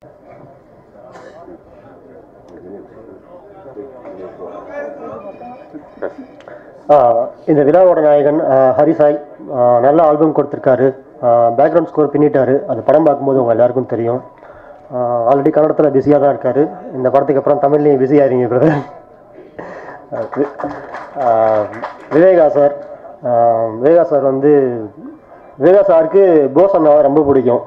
அவர் என்ன கேட்டாலும் பக்கத்துலேருந்து உடனே எழுதி கொடுத்துட்டே இருப்பாங்க. ஸோ சாங்ஸ் நல்லா வந்திருக்குன்னா அது காரணம் விவேகா சார் தான். அப்புறம் ஆல்ரெடி ஒரு சிங்கிள் ட்ராக் ரிலீஸ் பண்ணோம். அது பெரிய ஹிட் ஆயிருக்கு. அது காரணம் வந்து ரோபோ சங்கர் அண்ணா. ஸோ um, அந்த சாங்கை பெரிய ஹிட் ஆனதுக்கு ஹிட் ஆக்குனதுக்கு உங்கள் எல்லாருக்கும் பெரிய நன்றி. Uh, இந்த படத்தில் ஒரு நல்ல டீம் அமைஞ்சது. Um, ஒரு கேப்டன் நல்ல கேப்டன் இருந்தால் டீம் கண்டிப்பாக நல்லா தான் இருக்கும். நல்ல டீம் அமைஞ்சது. Um, ஸோ uh, நிச்சயமாக இந்த படம் உங்கள் எல்லாருக்குமே வந்துட்டு ஒரு பிடிக்கிற மாதிரி ஒரு படமாக இருக்கும். பரத் சார் இங்கே இருக்காங்க. பரத் சாரோட uh, காளிதாஸ் படமும் சில்லு கருப்பட்டி படமும் பெரிய லெவலில் கொண்டாடப்பட்டுச்சு பேசப்பட்டுச்சு. அது காரணம் வந்து ப்ரெஸ் நீங்கள் தான் ஸோ அது மாதிரி இந்த நல்ல படத்தையும் பேச வைப்பீங்க வெற்றி படமாக்குவீங்கன்னு சொல்லிட்டு எங்களுக்கு நம்பிக்கை இருக்குது அதுக்கு நான் இப்போவே தேங்க்ஸ் சொல்லிக்கிறேன். பெரிய லெவலில் எங்கள் படத்தை ப்ரொமோட் பண்ணிகிட்ருக்கேன் டிவோ மூவிஸ்க்கு ரொம்ப நன்றி. தேங்க்யூ ஸோ மச் என்னுடைய கதாநாயகி சாயா தேவி. நல்ல பேர் ஒன்று இருக்குது காயத்ரின்னு சொல்லிட்டு. அவங்க அம்மா ஜாதகம் பார்த்துட்டு சாயாதேவி தான் அப்படின்னு சொல்லி ரொம்ப அடம் பிடிச்சது வச்சாங்க. நான் சொன்னேன் டைட்டில் ஒரு மாதிரி இருக்கேம்மா காயத்ரி கூட பேசுகிற மாதிரி இருக்கேன்னு. ரொம்ப அடம் பிடிச்சி சாயாதேவின்னு தான் வைக்கணும்னாங்க. நான் டைட்டில் போடுறதுக்கே ரொம்ப யோசிச்சு யோசிச்சு டைப் பண்ணணும் அது. நல்லா இருக்கா? கணி சார் ஓகே சொல்லிட்டாரு. அதனால ஜ- சாயாதேவிக்கு அடுத்த படம் கனி நிச்சயமாக கொடுப்பாருன்னு நம்புகிறேன் இல்லை அது நல்ல படமாக வர்றதுக்கு அதுவே முக்கிய காரணமாக இருக்கும் நாளைக்கு நியூஸ் வந்து சொல்லிட்டாருன்னா எனக்கு அது ஒரு ஹைலைட் கிடைக்கும்ல. இன்னொன்று அந்த பொண்ணு தான் இப்போ பேச போகுது அதுக்கு தான் அவங்க ஒரு இன்டர்வியூ ஒன்று கொடுத்துருந்தாங்க. அந்த இன்டர்வியூவில் ரெண்டே ரெண்டு வார்த்தை இருபத்தஞ்சு நிமிஷம் பேசினாங்க. ஒன்று அம்மா இன்னொன்று அப்பா. அதை தவிர வேறு எதுவாவது பேசுமாறு கேட்டுக்கொள்கிறேன். எல்லாருக்கும் வணக்கம் ஆக்சுவலி ரொம்ப சந்தோஷமாக இருக்குது இந்த மாதிரி ஒரு ஸ்டேஜ் ஃபஸ்ட் டைம் இந்த சந்தோஷமான தருணத்தில் சில பேருக்கு நன்றி சொல்லணும்னு நினைக்கிறேன். ஃபஸ்ட்டு எங்கள் ப்ரொடியூசர் அசீர் சார் அவருக்கு ஒரு பெரிய நன்றி. ஏன்னா என்னை நம்பி இவ்வளோ பெரிய ஒரு ஸ்கிரிப்ட் கொடுத்ததுக்கு ஸோ ரொம்ப நன்றி சார் உங்களுக்கு.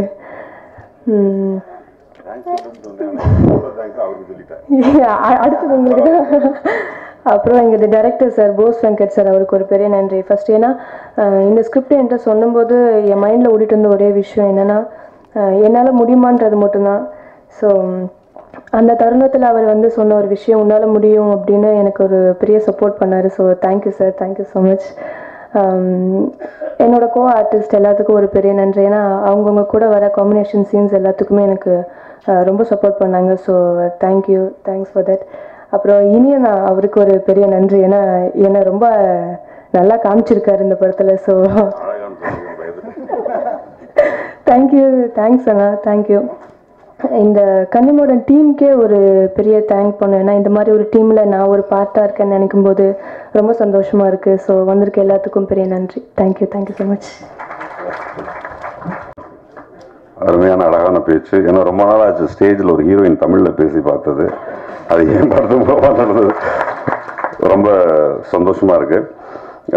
இந்த அடுத்து எங்கள் டீம்லேருந்து இப்போ பேலன்ஸ் இருக்கிறது ஹரிசாய் மட்டும்தான் மியூசிக் டைரக்டர் சம்டைம்ஸ் அவர் எமோஷன் ஆகிறதுக்கு நிறைய வாய்ப்பு இருக்குது ஏன்னா இந்த விழாவை ஹைலைட் பண்ணுறதுக்கு என்ன பண்ணுறதுன்னு கேட்டேன். அழுதாவானேன்னு கேட்டான். சரிடா. அது ஏதாவது ஒன்று பிளான் பண்ணிட்டு வான்னு சொல்லப்போ நிறைய சிவாஜி சார் படமாக போட்டு பார்த்துட்டு வந்ததா சொன்னான். அவனை நான் ஃபஸ்ட் டைம் சொல்லும்போது என்னடா பண்ண போகிறேன்னா எனக்கு பத்து வருஷம் பழக்கம் மியூசிக் டைரக்டர் அடுத்து ஒரு ரெண்டு வருஷம் கழிச்சு போனேன் இமான் சார் மாதிரி கொண்டாருந்தான் என்னடா கிட்ட இமான் சார் மாதிரி வர போகிறேன் பயங்கர அப்புறம் மியூசிக் டைரக்டர்ஸ்லாம் என்னென்னலாம் பண்ணுவாங்களோ அந்த மாதிரி உடம்பை ஏற்று இதெல்லாம் பண்ணானே தவிர மியூசிக் கற்றுக்கிட்டானா என்னன்னு எனக்கு தெரியல. ஒரு கிட்டத்தில் யா சான்சஸ் நிறையா இருக்குது நீங்கள் கேமராமேன் ஆன மாதிரி. ஸோ ஹரிசாய் அவர்களை மேடை கழிக்கிறேன். நீ வந்து அழு- அழுகக்கூடாது. ஒரே கண்டிஷனோடு மேடை கழிக்கிறேன். யா அப்போ ஹீரோ ஆயிடுவார். வாங்க.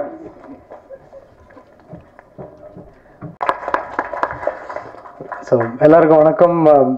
வந்திருக்கிற press people all the celebrities Kannimadam team and all audience ரொம்ப ரொம்ப தேங்க்ஸ் வந்ததுக்கு.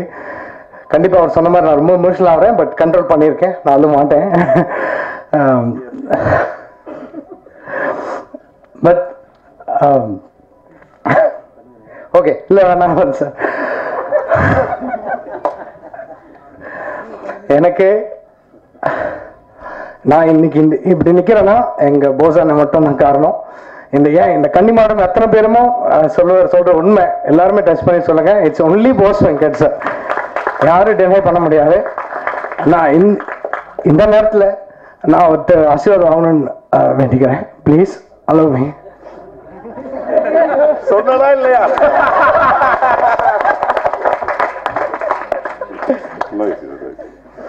ஸோ கண்ட்ரோல் பண்ணாலும் முடியல ஐம் சாரி ஓகே ஸோ இந்த கதை வந்து போஸ்டர் எனக்கு வந்து ஒரு நைன் எயிட் நைன் இயர்ஸாக சொல்லிட்டு இருக்காங்க. இந்த- இந்த கதை கேட்டிருக்கேன். இந்த படம் ஜெயிக்கணும். இந்த படம் ப்ளீஸ் எல்லாரும் போய் பார்க்கணும் அப்படின்னா அதோட அதில் சொல்லுவாங்க எவ்ரி பிளட் வந்து அவரோட சீன் எவ்ரி பிளட் அவரோட டைலாக் ஸோ ப்ளீஸ் அவரோட ஹார்ட் எஃபர்ட்டை ப்ளீஸ் மக்கள்கிட்ட போய் சேருங்க. அண்ட் வேற என்ன சொல்லணும்னா கம்போசிங் கம்போசிங்ல ரொம்ப ஃபோர் டேஸ் கம்போ ஃபோர் டேஸ் வந்தார். சொன்னார் எனக்கு அஞ்சு டியூன் வேணும். ஃபோர் டேஸ் தான் எனக்கு டைம் எனக்கு அடுத்து ஷூட்டிங் இருக்கு. ஃப்ளைட்லாம் புக் பண்ணிட்டாரு. ஃபர்ஸ்ட் டே உட்காந்தோம் கம்போஸ் பண்ணோம். நல்லா நான் வாசித்தேன் அவர் வாசிக்கும் போதே பார்த்தேன் அவரை. அவர் மூஞ்சி அப்படியே அழகா இருக்கும். அப்படின்னு சார் நல்லா இருக்கான் நல்லா இருக்கு நல்லா இருக்கு ஆ முடிஞ்சிச்சு நான் ரெக்கார்ட் பண்ணியாச்சேன். நல்லா இருக்கு ஆனால் இது எனக்கு வேண்டாம் வேற பண்ணலாம் அப்படின்னுவாரு. இந்த மாதிரியே பண்ணி அண்ட் uh, கடைசி ஃபோர்த் டே தான் வந்து எல்லா டியூன்ஸும் ஃபைனலாக ரெடி பண்ணோம். அண்ட் எங்க ரோபோ அண்ணன் வந்திருக்காரு. அவருக்கு நன்றி சொல்லலாம்.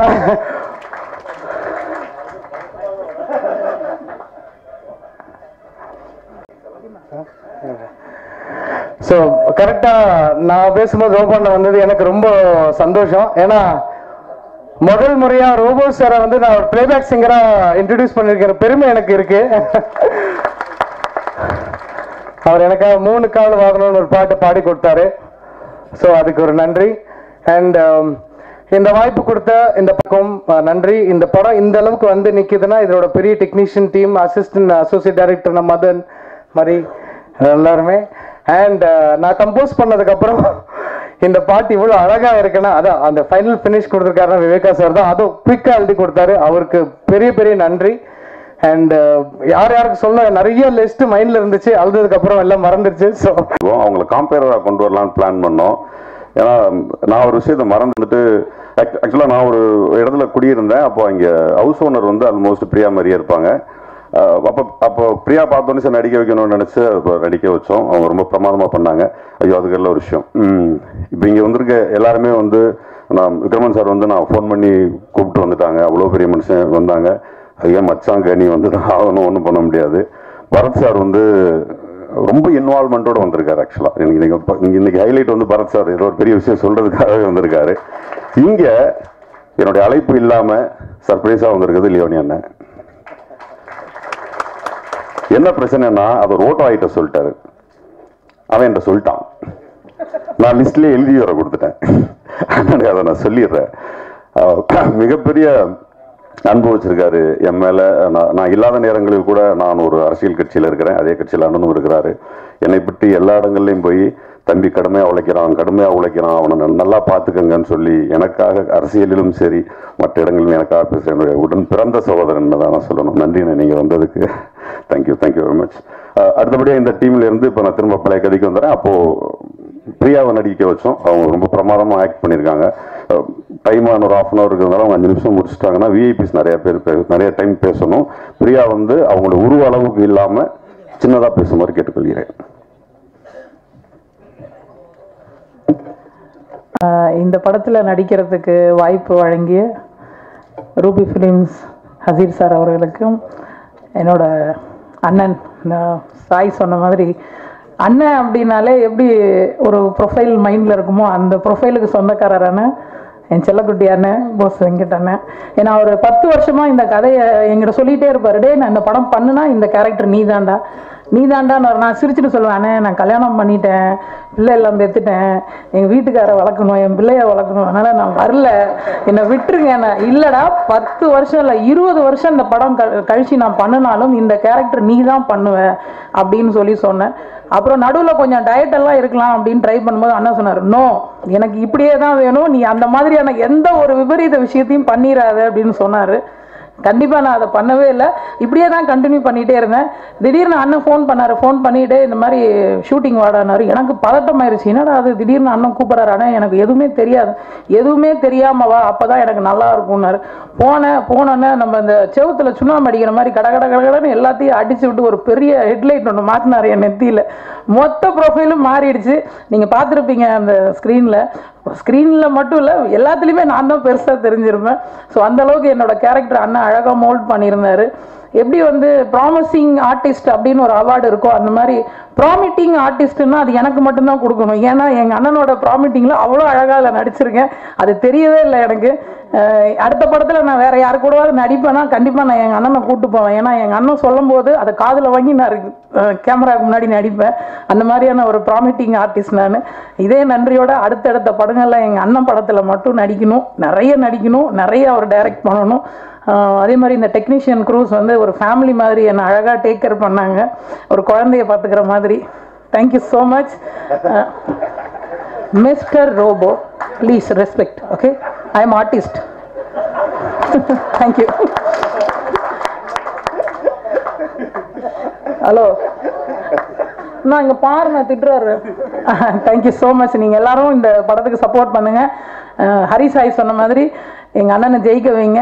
ஏன்னா அவ்வளோ ஒரு அழகான படம். இந்த படம் வந்து இந்த காதலர் தினத்துக்கு வெளி ஆடியோ ரிலீஸ் பண்ணதில் ரொம்ப சந்தோஷமாக இருக்குது அதுவும் ஒரு காதல் ஜோடி இந்த மேடையில் இருக்கிறோம் நாங்கள் thank you so much thank you thank you thank you thank you அப்புறம் இது யாரையா கூப்பிட்டோமோ வரவே மாட்டாங்க. அதனால் ஒரு ரெண்டு பேரும் சேர்ந்து நிற்கிற இடம் ரொம்ப கஷ்டமாக இருக்கும் எப்போவுமே. இந்த நேரத்தில் எனக்கு பல உதவிகள் இந்த படத்தில் செஞ்சு ஒரு பாட்டு பாடி கொடுத்து அந்த ப அந்த பாட்டு வந்து ஒரு போஸ்டர் அடிக்கும்போது ஒரு ரோபோ சங்கர்னு கிடைக்கிற அட்டென்ஷன் அட்டென்ஷன் எங்களுக்கு கிடைக்காது. அந்த அட்டென்ஷன் கிடைக்கணுங்கிறதுக்காக நான் மாப்பிள்ளைகிட்ட கேட்டேன். பத்து பைசா கூட வாங்கல. ஆக்சுவலாக நான் ப்ரொடியூசர் சொல்லிட்டு ஒரு மோதிரம் போடுவோம் மேடைன்ட்டு மறந்துட்டேன். அதனால் எல்லாரும் ப்ரொடியூசர் ரெண்டு பவுன் மோதிரம் போட்டதான் நினச்சிக்கோங்க. நீ போ அதை நீ பேப்பரில் கூட போட்டுருங்க நாளைக்கு நான் வாங்கி கொடுத்துறேன். ஐ மிஸ்ட் இட் இல்லை இல்ல ப- படமே வந்து பட்ஜெட்டோட பத்து லட்ச ரூபாய் கம்மியா பண்ணி கொடுக்கணும்னு ஆசைப்படுறேன் நான். ப்ரொடியூசரை காப்பாத்துற டேரக்டராக இருக்கணும்னு ஆசைப்பட்டு வந்தேன். அதுக்கு அதை அப்புறம் கரெக்ட் பண்ணிக்கலாம். ஓகே இந்த நேரத்தில் நிச்சயமா இப்போ எங்களுடைய அன்பு அண்ணன் லியோனி அண்ணன் அவர்கள் இப்போ மேடைக்கு வந்து பேச போகிறாங்க அவங்க நான் எவ்வளோ நன்றி கடன் பட்டிருக்கேன்னு எனக்கு தெரில தேங்க்ஸ் அவ்வளோதான் சொல்ல முடியும் என்னால் அண்ணன் பயணம் இருந்தது. அவங்கள கூப்பிட்டு கேன்சல் பண்ணிவிட்டு நான் காரில் வரேன்னு சொல்லிட்டு காரில் வந்திருக்காரு. இங்கே இப்படியே போகிறாரு அதான் சொன்ன வார்த்தை இல்லை எப்படி சொல்கிறதுன்ட்டு தேங்க்ஸ் திருப்பி எதுவுமே செய்ய முடியாது. ரொம்ப ஆழமாக ஒரு வார்த்தை சொல்லலாம்ண்ணே நன்றி. அடுத்தபடியாக என்னுடைய சகோதரன் பரத் அவர்கள் நாங்கள் ரெண்டு பேரும் கிரிக்கெட் மேட்ச் ஆக்சுவலாக முத முதல்ல கிரிக்கெட் விளாட்றதுக்கு நெட்ஸுக்கு வந்தார். நல்லா ஃபிட்டாக சிக்ஸ் பேக்கோட வந்தார். எவ்வளோ பெரிய தொப்பையோட போய் ஏஜ் டிஃப்ரென்ஸ் வேறு. அப்புறம் நான் தான் பவுலிங் போடுவேன். பவுலிங் போட்டதுக்கப்புறம் அந்த சிசிஎல்ல நான் விளையாடுறதுக்கு ரொம்ப காரணமாக இருந்ததும் பரத் சார் தான். பவுலிங் போட்டதுக்கப்புறம் அங்கே போய் சொல்லியிருக்காரு. ரொம்ப துருத்துன்னு இருக்காருங்க. பரவாயில்ல அவர் விளையாட வைக்கலான்னுட்டு. ஸோ சிசிஎல்ல எனக்கு அதனால தான் அந்த வாய்ப்பு கிடைச்சிது. அதுக்கும் தேங்க்ஸ் சொல்ல முடியாமல் இருந்தது. இது சரியான இடமா நான் பயன்படுத்திக்கிறேன் பரத் அவர்களுக்கு. இப்பொழுது பரத் அவர்கள் உரையாற்றுவார்கள். மார்னிங் ஃப்ளைட்டு சார் கொஞ்சம் ரொம்ப ஹார்ஸ் ஆகிட்டார் ஏன்னா flight ticket up and down போடுறார் இல்லையா? அது பணத்தை போட்டு விடுவார். அந்த வந்து அது டங்கின்னு விழுகும் போதே திட்டுற மாதிரியே இருக்கும். அப்படி தான் பணம் போடுவார். ஏன்னா எத்தனை தடவை போயிட்டு வரும் இந்த மியூசிக் போடுறதுக்கு? அவன் இங்கே கூட்டு வர வேண்டியதானேங்கிற அளவுக்கு கோவப்படுற அளவுக்கு ஒரு நாள். டே மார்னிங் ஃப்ளைட்டராக போகிறான்னு சொல்லிட்டு போடல லைக் ஒரு தூங்கலை. நாலு மணிக்கு நான் அப்படி ஏர்போர்ட் போயிடுறேன்னு சொல்லிட்டு கம்போஸ் பண்ணிட்டே இருந்தோம். நான் எப்போ தூங்கினேன்னு தெரில முடிச்சு பார்த்தா அவன் தூங்கிக்கிட்டு இருந்தான். அந்த கீபோர்ட் மேலே அவன் தலையை வச்சு தூங்கிட்டு இருந்தான். நான் முழிச்ச உடனே கீபோர்ட் என்னடா அண்ணே? யோசிச்சுட்டு இருந்தேனே அப்படின்னா ரெண்டாவது அப்போ டயட்டு மூணு பிரியாணி தான் சாப்பிடுவான். அப்போது நல்லா தூங்கிட்டு இருக்கிறான். அப்போ இந்த இந்த படத்தில் ஒரு ஒரு ஒரு எனக்கு ரொம்ப பிடிச்ச ஒரு மியூசிக் ஒன்று இருக்கு. அதை அவன் தூங்கிக்கிட்டே போட்டது. ஸோ பிற்காலத்தில் பெரிய மியூசிக் டைரக்டர் வந்து அவனை தூங்க சொல்லி மியூசிக் போட்டால் நல்ல பாடல்கள் கொடுப்பாங்க. என்னுடைய தலையால கருத்து. அடுத்தபடியாக மச்சான் நீங்கள் பொறுத்து தான் ஆகணும். இல்லை மச்சான்னா நீங்கள் என்ன வேறு வழியே இல்லை எனக்கு கண்ணில் தெரியுது. ஆனால் நீங்கள் தான் கண்டென்ட் கொஞ்சம் வெயிட் பண்ணி தான் நீங்க கொஞ்சம் வெயிட் பண்ணி தான் ஆகணும். எனக்கு அது- அது எனக்கு வந்து நான் சார்கிட்ட என்ன சொல்கிறதுன்னு தெரில லைக் நிறைய நேரம் போயிட்டு இருக்கு திரு. ரோபசங்கர் அவர்களை மேடைக்கு அளிக்கிறேன் ரொம்ப சுருக்கமாக அரை மணி நேரம் மட்டும் பேசினா போதும். ஆம், சொல்- எல்லா எல்லா செல்போன்லயும் ஒரு அன்புன்னு அவரோட போட்டோ போட்டு தான் ரெண்டு வரிகளே எழுதுவாங்க. அந்த அன்புக்கு இங்க வந்திருக்காரு நன்றி. அடுத்தபடியா என் அருமை மச்சான் சமுதர்கனி நன்றி. இப்போ இல்லை முந்தி. அனைவருக்கும் வணக்கம். எப்படி ஒரு சின்ன திரையிலிருந்து வந்து பெரிய திரைக்கு வந்து ஒரு நல்ல நடிகராக தன்னை நிரூபித்தவர் போசுங்கட் அதே மாதிரி நிச்சயமாக நடிகராக இன்னைக்கு இயக்குனர் அவதாரம் எடுத்திருக்காரு. இதுலேயும் பெருசாக ஜெயிப்பார். நான் வந்து இப்போ சமீபகாலமாக ஒரு ஒரு வருஷமாக நிறைய ஆடியோ ஃபங்க்ஷன் எதுவும் ஃபங்க்ஷனுக்கே போகிறதில்ல பொதுவாக ஆனால் நான் கிட்டத்தட்ட முப்பது ஆண்டுகளாக நிறைய விழாக்களுக்கு போயிருக்கேன். இவ்வளவு நகைச்சுவையோடு இருந்த ஒரு ஃபங்க்ஷன் வந்து நான் இன்றைக்கி தான் பார்க்குறேன். எல்லாருமே நல்ல சென்ஸ் ஆஃப் ஹியூமரோட அழகாக பேசி ரொம்ப கலக்க வச்சாங்க. அதற்கு அனைவருக்கும் நன்றி. குறிப்பாக லியோனி சாருக்கு ரோபோ சங்கருக்கு சமுத்திரக்கனி அங்கேருந்து கமெண்ட் அடிச்சுக்கிட்டே இருந்தார் ஃபுல்லாக அவருக்கு. எல்லாருக்கும் நன்றி. இந்த படம் எந்த ஜானரில் இருக்குன்னு எனக்கு தெரியல. நிச்சயமாக ஏன்னா ட்ரெய்லர் சாங் பார்க்கல. நிச்சயமாக ஒரு தரமான படமாக இருக்கும் அப்படின்னு நான் நம்புறேன். ஏன்னா போஸ் வெங்கட் வந்து நான் தூரத்துலேருந்து பார்த்தாலும் கூட ஒரு நல்ல நடிகர் நிச்சயமாக ஒரு நல்ல ஒரு படைப்பை கொடுப்பாரு. எம்ஜிஆர் அப்படிதான். நல்ல நடிகராக இருந்து தான் எம்ஜிஆர் நல்ல நல்ல படங்கள் டைரக்ட் பண்ணார். அவர் நாடோடி மன்னன் ஆகட்டும் உலகம் சுற்றும் மலிவான் ஆகட்டும் அந்த மாதிரி இவரும் ஒரு நல்ல படம் கொடுத்துருப்பார்னு நினைக்கிறேன். முன் நண்பர் இவர் முருகதாசன்ற நண்பர் ஒரு கருத்து சொன்னார். அது நான் நூறு சதவீதம் அதை வரவேற்கிறேன். அன்புமணி அவர்கள் வந்து ஒரு ஒரு வாரத்துக்கு முன்னாடி ஒரு பேப்பரில் சிறு படங்களுக்கு ஆதரவாக கருத்து தெரிவிச்சிருந்தார். அது ரொம்ப பாராட்டுக்குரிய வரவேற்கக்கூடியது திரைத்துறையின் சார்பாக குறிப்பாக வந்து சிறுபட இயக்குனர் அப்படின்ற முறையில் திரு அன்புமணி ராமதாஸ் அவர்களுக்கு இந்த நேரத்தில் நான் நன்றி சொல்லிக்கிறேன். இந்த படமும் மிகப்பெரிய வெற்றி பெறணும். இப்போ சமீப காலமாக சின்ன படங்கள் தான் பெரிய வெற்றி பெற்றிருக்கு. அறமாகட்டும் அருவி படமாகட்டும் இப்படி எத்த எத்தனையோ எண்ணற்ற படம் மாநகரமாகட்டும் இப்படி எத்தனையோ எண்ணற்ற படங்கள் சின்ன படங்களுடைய சக்சஸ்னுடைய அந்த ரேஞ்ச் வந்து யாருக்கும் பெருசா தெரிய மாட்டேங்குது. அதாவது ஒரு ரெண்டு கோடி ரூபா மூணு கோடி ரூபாயில் எடுத்த படம் வந்து ஒரு அஞ்சு கோடி ரூபாய் கலெக்ட் பண்ணுது. அந்த வெற்றி யாருக்கும் தெரிய மாட்டேங்குது. ஆனா நூறு கோடி ரூபாய் கொடுத்து எடுத்த படங்கள் பெரும்பாலும் தோல்வி அடையுது அப்படி இல்லைன்னா அது நூற்றி ரெண்டு கோடி ரூபா இல்லை நூற்றி மூணு கோடி ரூபா தான் கலெக்ட் பண்ணுது. ஸோ அந்த அதனுடைய வெற்றி அதனுடைய கலெக்ஷனோட சின்ன படங்கள் பெரிய லெவலில் கலெக்ட் பண்ணுது. ஆனால் அது யாரும் சின்ன படங்களை என்கரேஜ் பண்ண மாட்டேன்றாங்க. என்ன காரணம்னே தெரியல. இந்த நிலைமை மாறணும். சின்ன படங்களுக்கு எல்லாரும் சப்போர்ட் பண்ணுங்க. அப்பதான் தரமான படைப்புகளை உருவாக்க முடியும். இந்த படம் மாபெரும் வெற்றி அடையணும். என்னுடைய வாழ்த்துக்கள். சார்பர்கள் ரெண்டு பேர் பிஸ்னஸ் அதில் ஒருத்தவங்க வந்து சிம்பமூர்த்தி சார். வந்து படம் பார்த்தாரு. அவர் வந்து படம் பார்த்ததே வந்து ஒரு கதையாக இருந்தது எனக்கு. அந்த டோட்டல் ஸ்டுடியோவே பரபரன்னு இருந்தது. அவர் வேகமாக வருவார் படம் பார்ப்பாரு. நல்லா இல்லைனா பாயில் இருந்துச்சு போயிடுவார் இன்டர்வியூவில் பண்ணி எதோ சொல்லி குழப்பிட்டாங்க. அப்புறம் நாங்கள் அவர் அவர் ஒரு மாதிரி பரபரன்னு நானும் என்ன பரபரன்னு ஆக்கி விட்டாங்க. அவர் வந்து படம் பார்த்தாரு. அவர் இன்டர்வலுக்கு எந்திரிச்சு போயிடுவார்னு மூணு தடவை சொல்லிட்டார் படம் ஓடும்போதே ஒருத்தர். நான் ஐயோ ஒரு இன்டர்வலுக்கு வெளியில் வந்துருவாருன்னு பார்த்துட்டு அவர் வரல. அப்புறம் படம் பார்த்துட்டு இறங்குனாரு. அதே மாதிரி பரபர பரபரன்னு போனாங்க. சார் கார் எடுத்துட்டு வேகமாக போயிடுவாரு அப்படின்னாங்க. அவர் கார் எடுத்துகிட்டு போகல. நின்று எனக்கு ஒரு மணி நேரம் பேசினார். காலைல ஆஃபீஸ் வாங்கினாரு. நான் அந்த படத்தை ரிலீஸ் பண்ணி தரேன்னு சொன்னார். ஸோ ரிலீஸாக நான் பயப்படாமல் இருக்கேன். சந்தோஷமாக இருக்கேன். அவர் ஒரு வார்த்தை சொன்னார். நான் என்னுடைய முப்பத்தஞ்சு வருஷ சினிமா அனுபவத்தில் நான் பார்த்த இன்னொரு பெஸ்ட் ஃபிலிம் அப்படின்னாரு. எனக்கு ஒரு ரொம்ப சந்தோஷமாக இருந்தது. நிறையா நேரங்களில் வந்து அழணும்னு தோணும்போது நான் வாய் விட்டு அழுத ஒரு தருணம் அது. ஏன்னா முப்பத்தஞ்சு வருஷத்தில் நான் பார்த்த இரண்டு படங்களில் ஒரு படம்னு சொல்லி சொன்னார். அந்த முதல் படம் என்னன்னு என்கிட்ட சொல்லலை. என்ன படத்தை சொன்னார் ரொம்ப சந்தோஷமாக இருந்தது. அவ்வளோ பெரிய எக்ஸ்பெக்டேஷனோட வந்துடாதீங்க. அது அவருக்கு பிடிச்ச படம். நிறைய பேருக்கு பிடிக்காம கூட போகலாம் பட் நான் அந்த இதில் சொல்லலை. அதனால் அந்த வியாபார பயத்துலேருந்து நான் கொஞ்சம் விலகிட்டேன். ஏன்னா நல்ல தேட்டர்ஸ் எடுத்திருக்காங்க. ஃபோர் ஷோஸ் த்ரீ ஷோஸ் அந்த மாதிரி நல்ல பேக்டாக தான் அந்த படத்தை ரிலீஸ் பண்ணுறாங்க ஸோ அதில் பயங்கர சந்தோஷம். இந்த நேரத்தில் செண்பகமூர்த்தி சார் அவர்களுக்கு என்னுடைய நன்றியை தெரிவிச்சுக்கிறேன். அதே ஆஃபீஸில் இதுக்கு முருகனையாக இருக்கக்கூடிய திரு ராஜா அவர்களுக்கும் ஆறுமுக மன்னன் அவர்களுக்கு என்னுடைய நன்றியை தெரிவிச்சுக்கிறேன். இங்கே உண்மையிலேயே எனக்கு ரொம்ப நர்வஸாக இருக்குது ரெண்டு பேரும் சேர்ந்து நடிச்சிருக்கோம். நல்ல நண்பர். என்ன சமைச்சாலும் என் டோரை தட்டி வாங்க சாப்பிடுவோம்னு சொல்லுவார். உணவுக்கு வந்து சாப்பிடுவோம். எந்த விகல்பமும் இல்லை. நடிகர்களுக்கான தனி அடையாளம் எல்லா மொழிகள்லையும் கலக்கிட்டு இருக்காரு. இது இப்படி தான் சொல்லணும். நான் வந்து அவரை கூப்பிட்டு பேசும்போது ஒரு நாளில் கூப்பிட்றேன். என்ன ரெண்டு நாளில் டிசைட் பண்ணது. இந்த ஸ்டேஜை அழகுபடுத்தணும். ஏன்னா விக்ரமன் சார் கூப்பிட்டதும் அதே மாதிரி தான் கூப்பிட்டேன் லைக் கனி வந்து மச்சான் அது நான் இன்னும் ரெண்டு மணி நேரம் உட்காந்தாலும் கோச்சுக்க மாட்டார். பட் சார்கிட்ட நான் போய் சொன்னோன்னே எதுவுமே சொல்லலை. என்னைக்கு?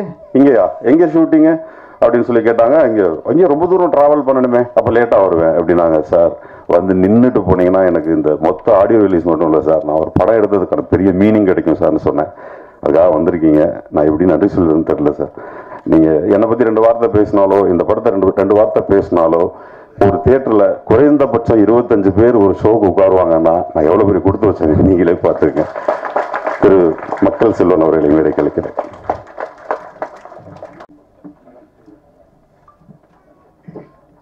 ஒத்துக்கணும்.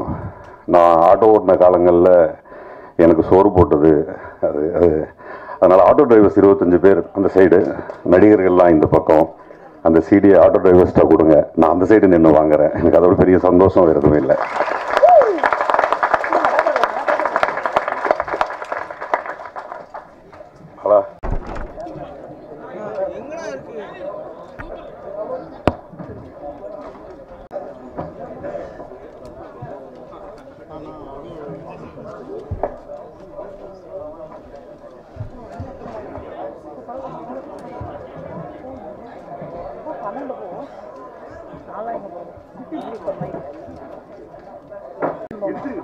அவருக்காக அவருக்கு எடுத்துட்டு போங்க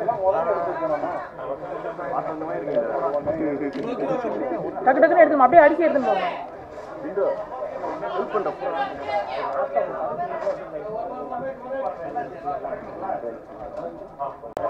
அதை பிரிச்சு கூட பிரிக்காத பிரிக்காத. பிரிக்காத மகன். ஒண்ணு மட்டும் அண்ணா போடுறது மகன். அப்படியே எடுத்து அடுக்குப்பா எடுத்து அடுக்குங்க கையில. அதை விட்டு அப்படியே விட்டுரு. ஒன்றும் கவர்ல போனவன் வேணாம். அப்படியே அப்படியே இந்த அப்படியே அடுக்குக்கணும் அப்படியே அடுக்கு எடுத்து கையில அடுக்குமா ரெண்டு பேரும் அடிச்சுக்கோங்க இந்தாங்க,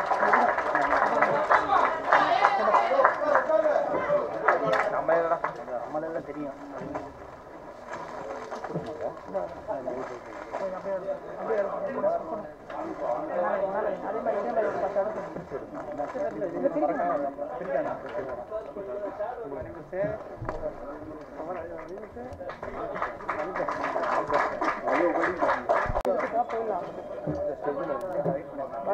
அண்ணாட்ட கையில கொடுக்குறோம்.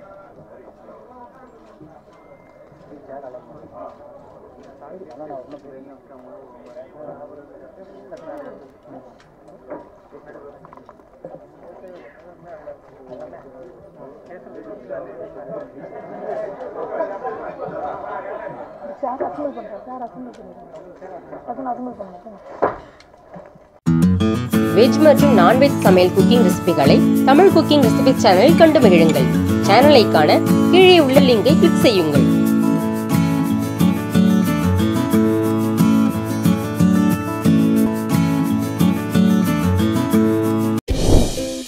தொடர்ந்து இது போல வீடியோஸ் பார்க்குறதுக்கு கீழே இருக்க சப்ஸ்கிரைப் பட்டனை கிளிக் பண்ணுங்க.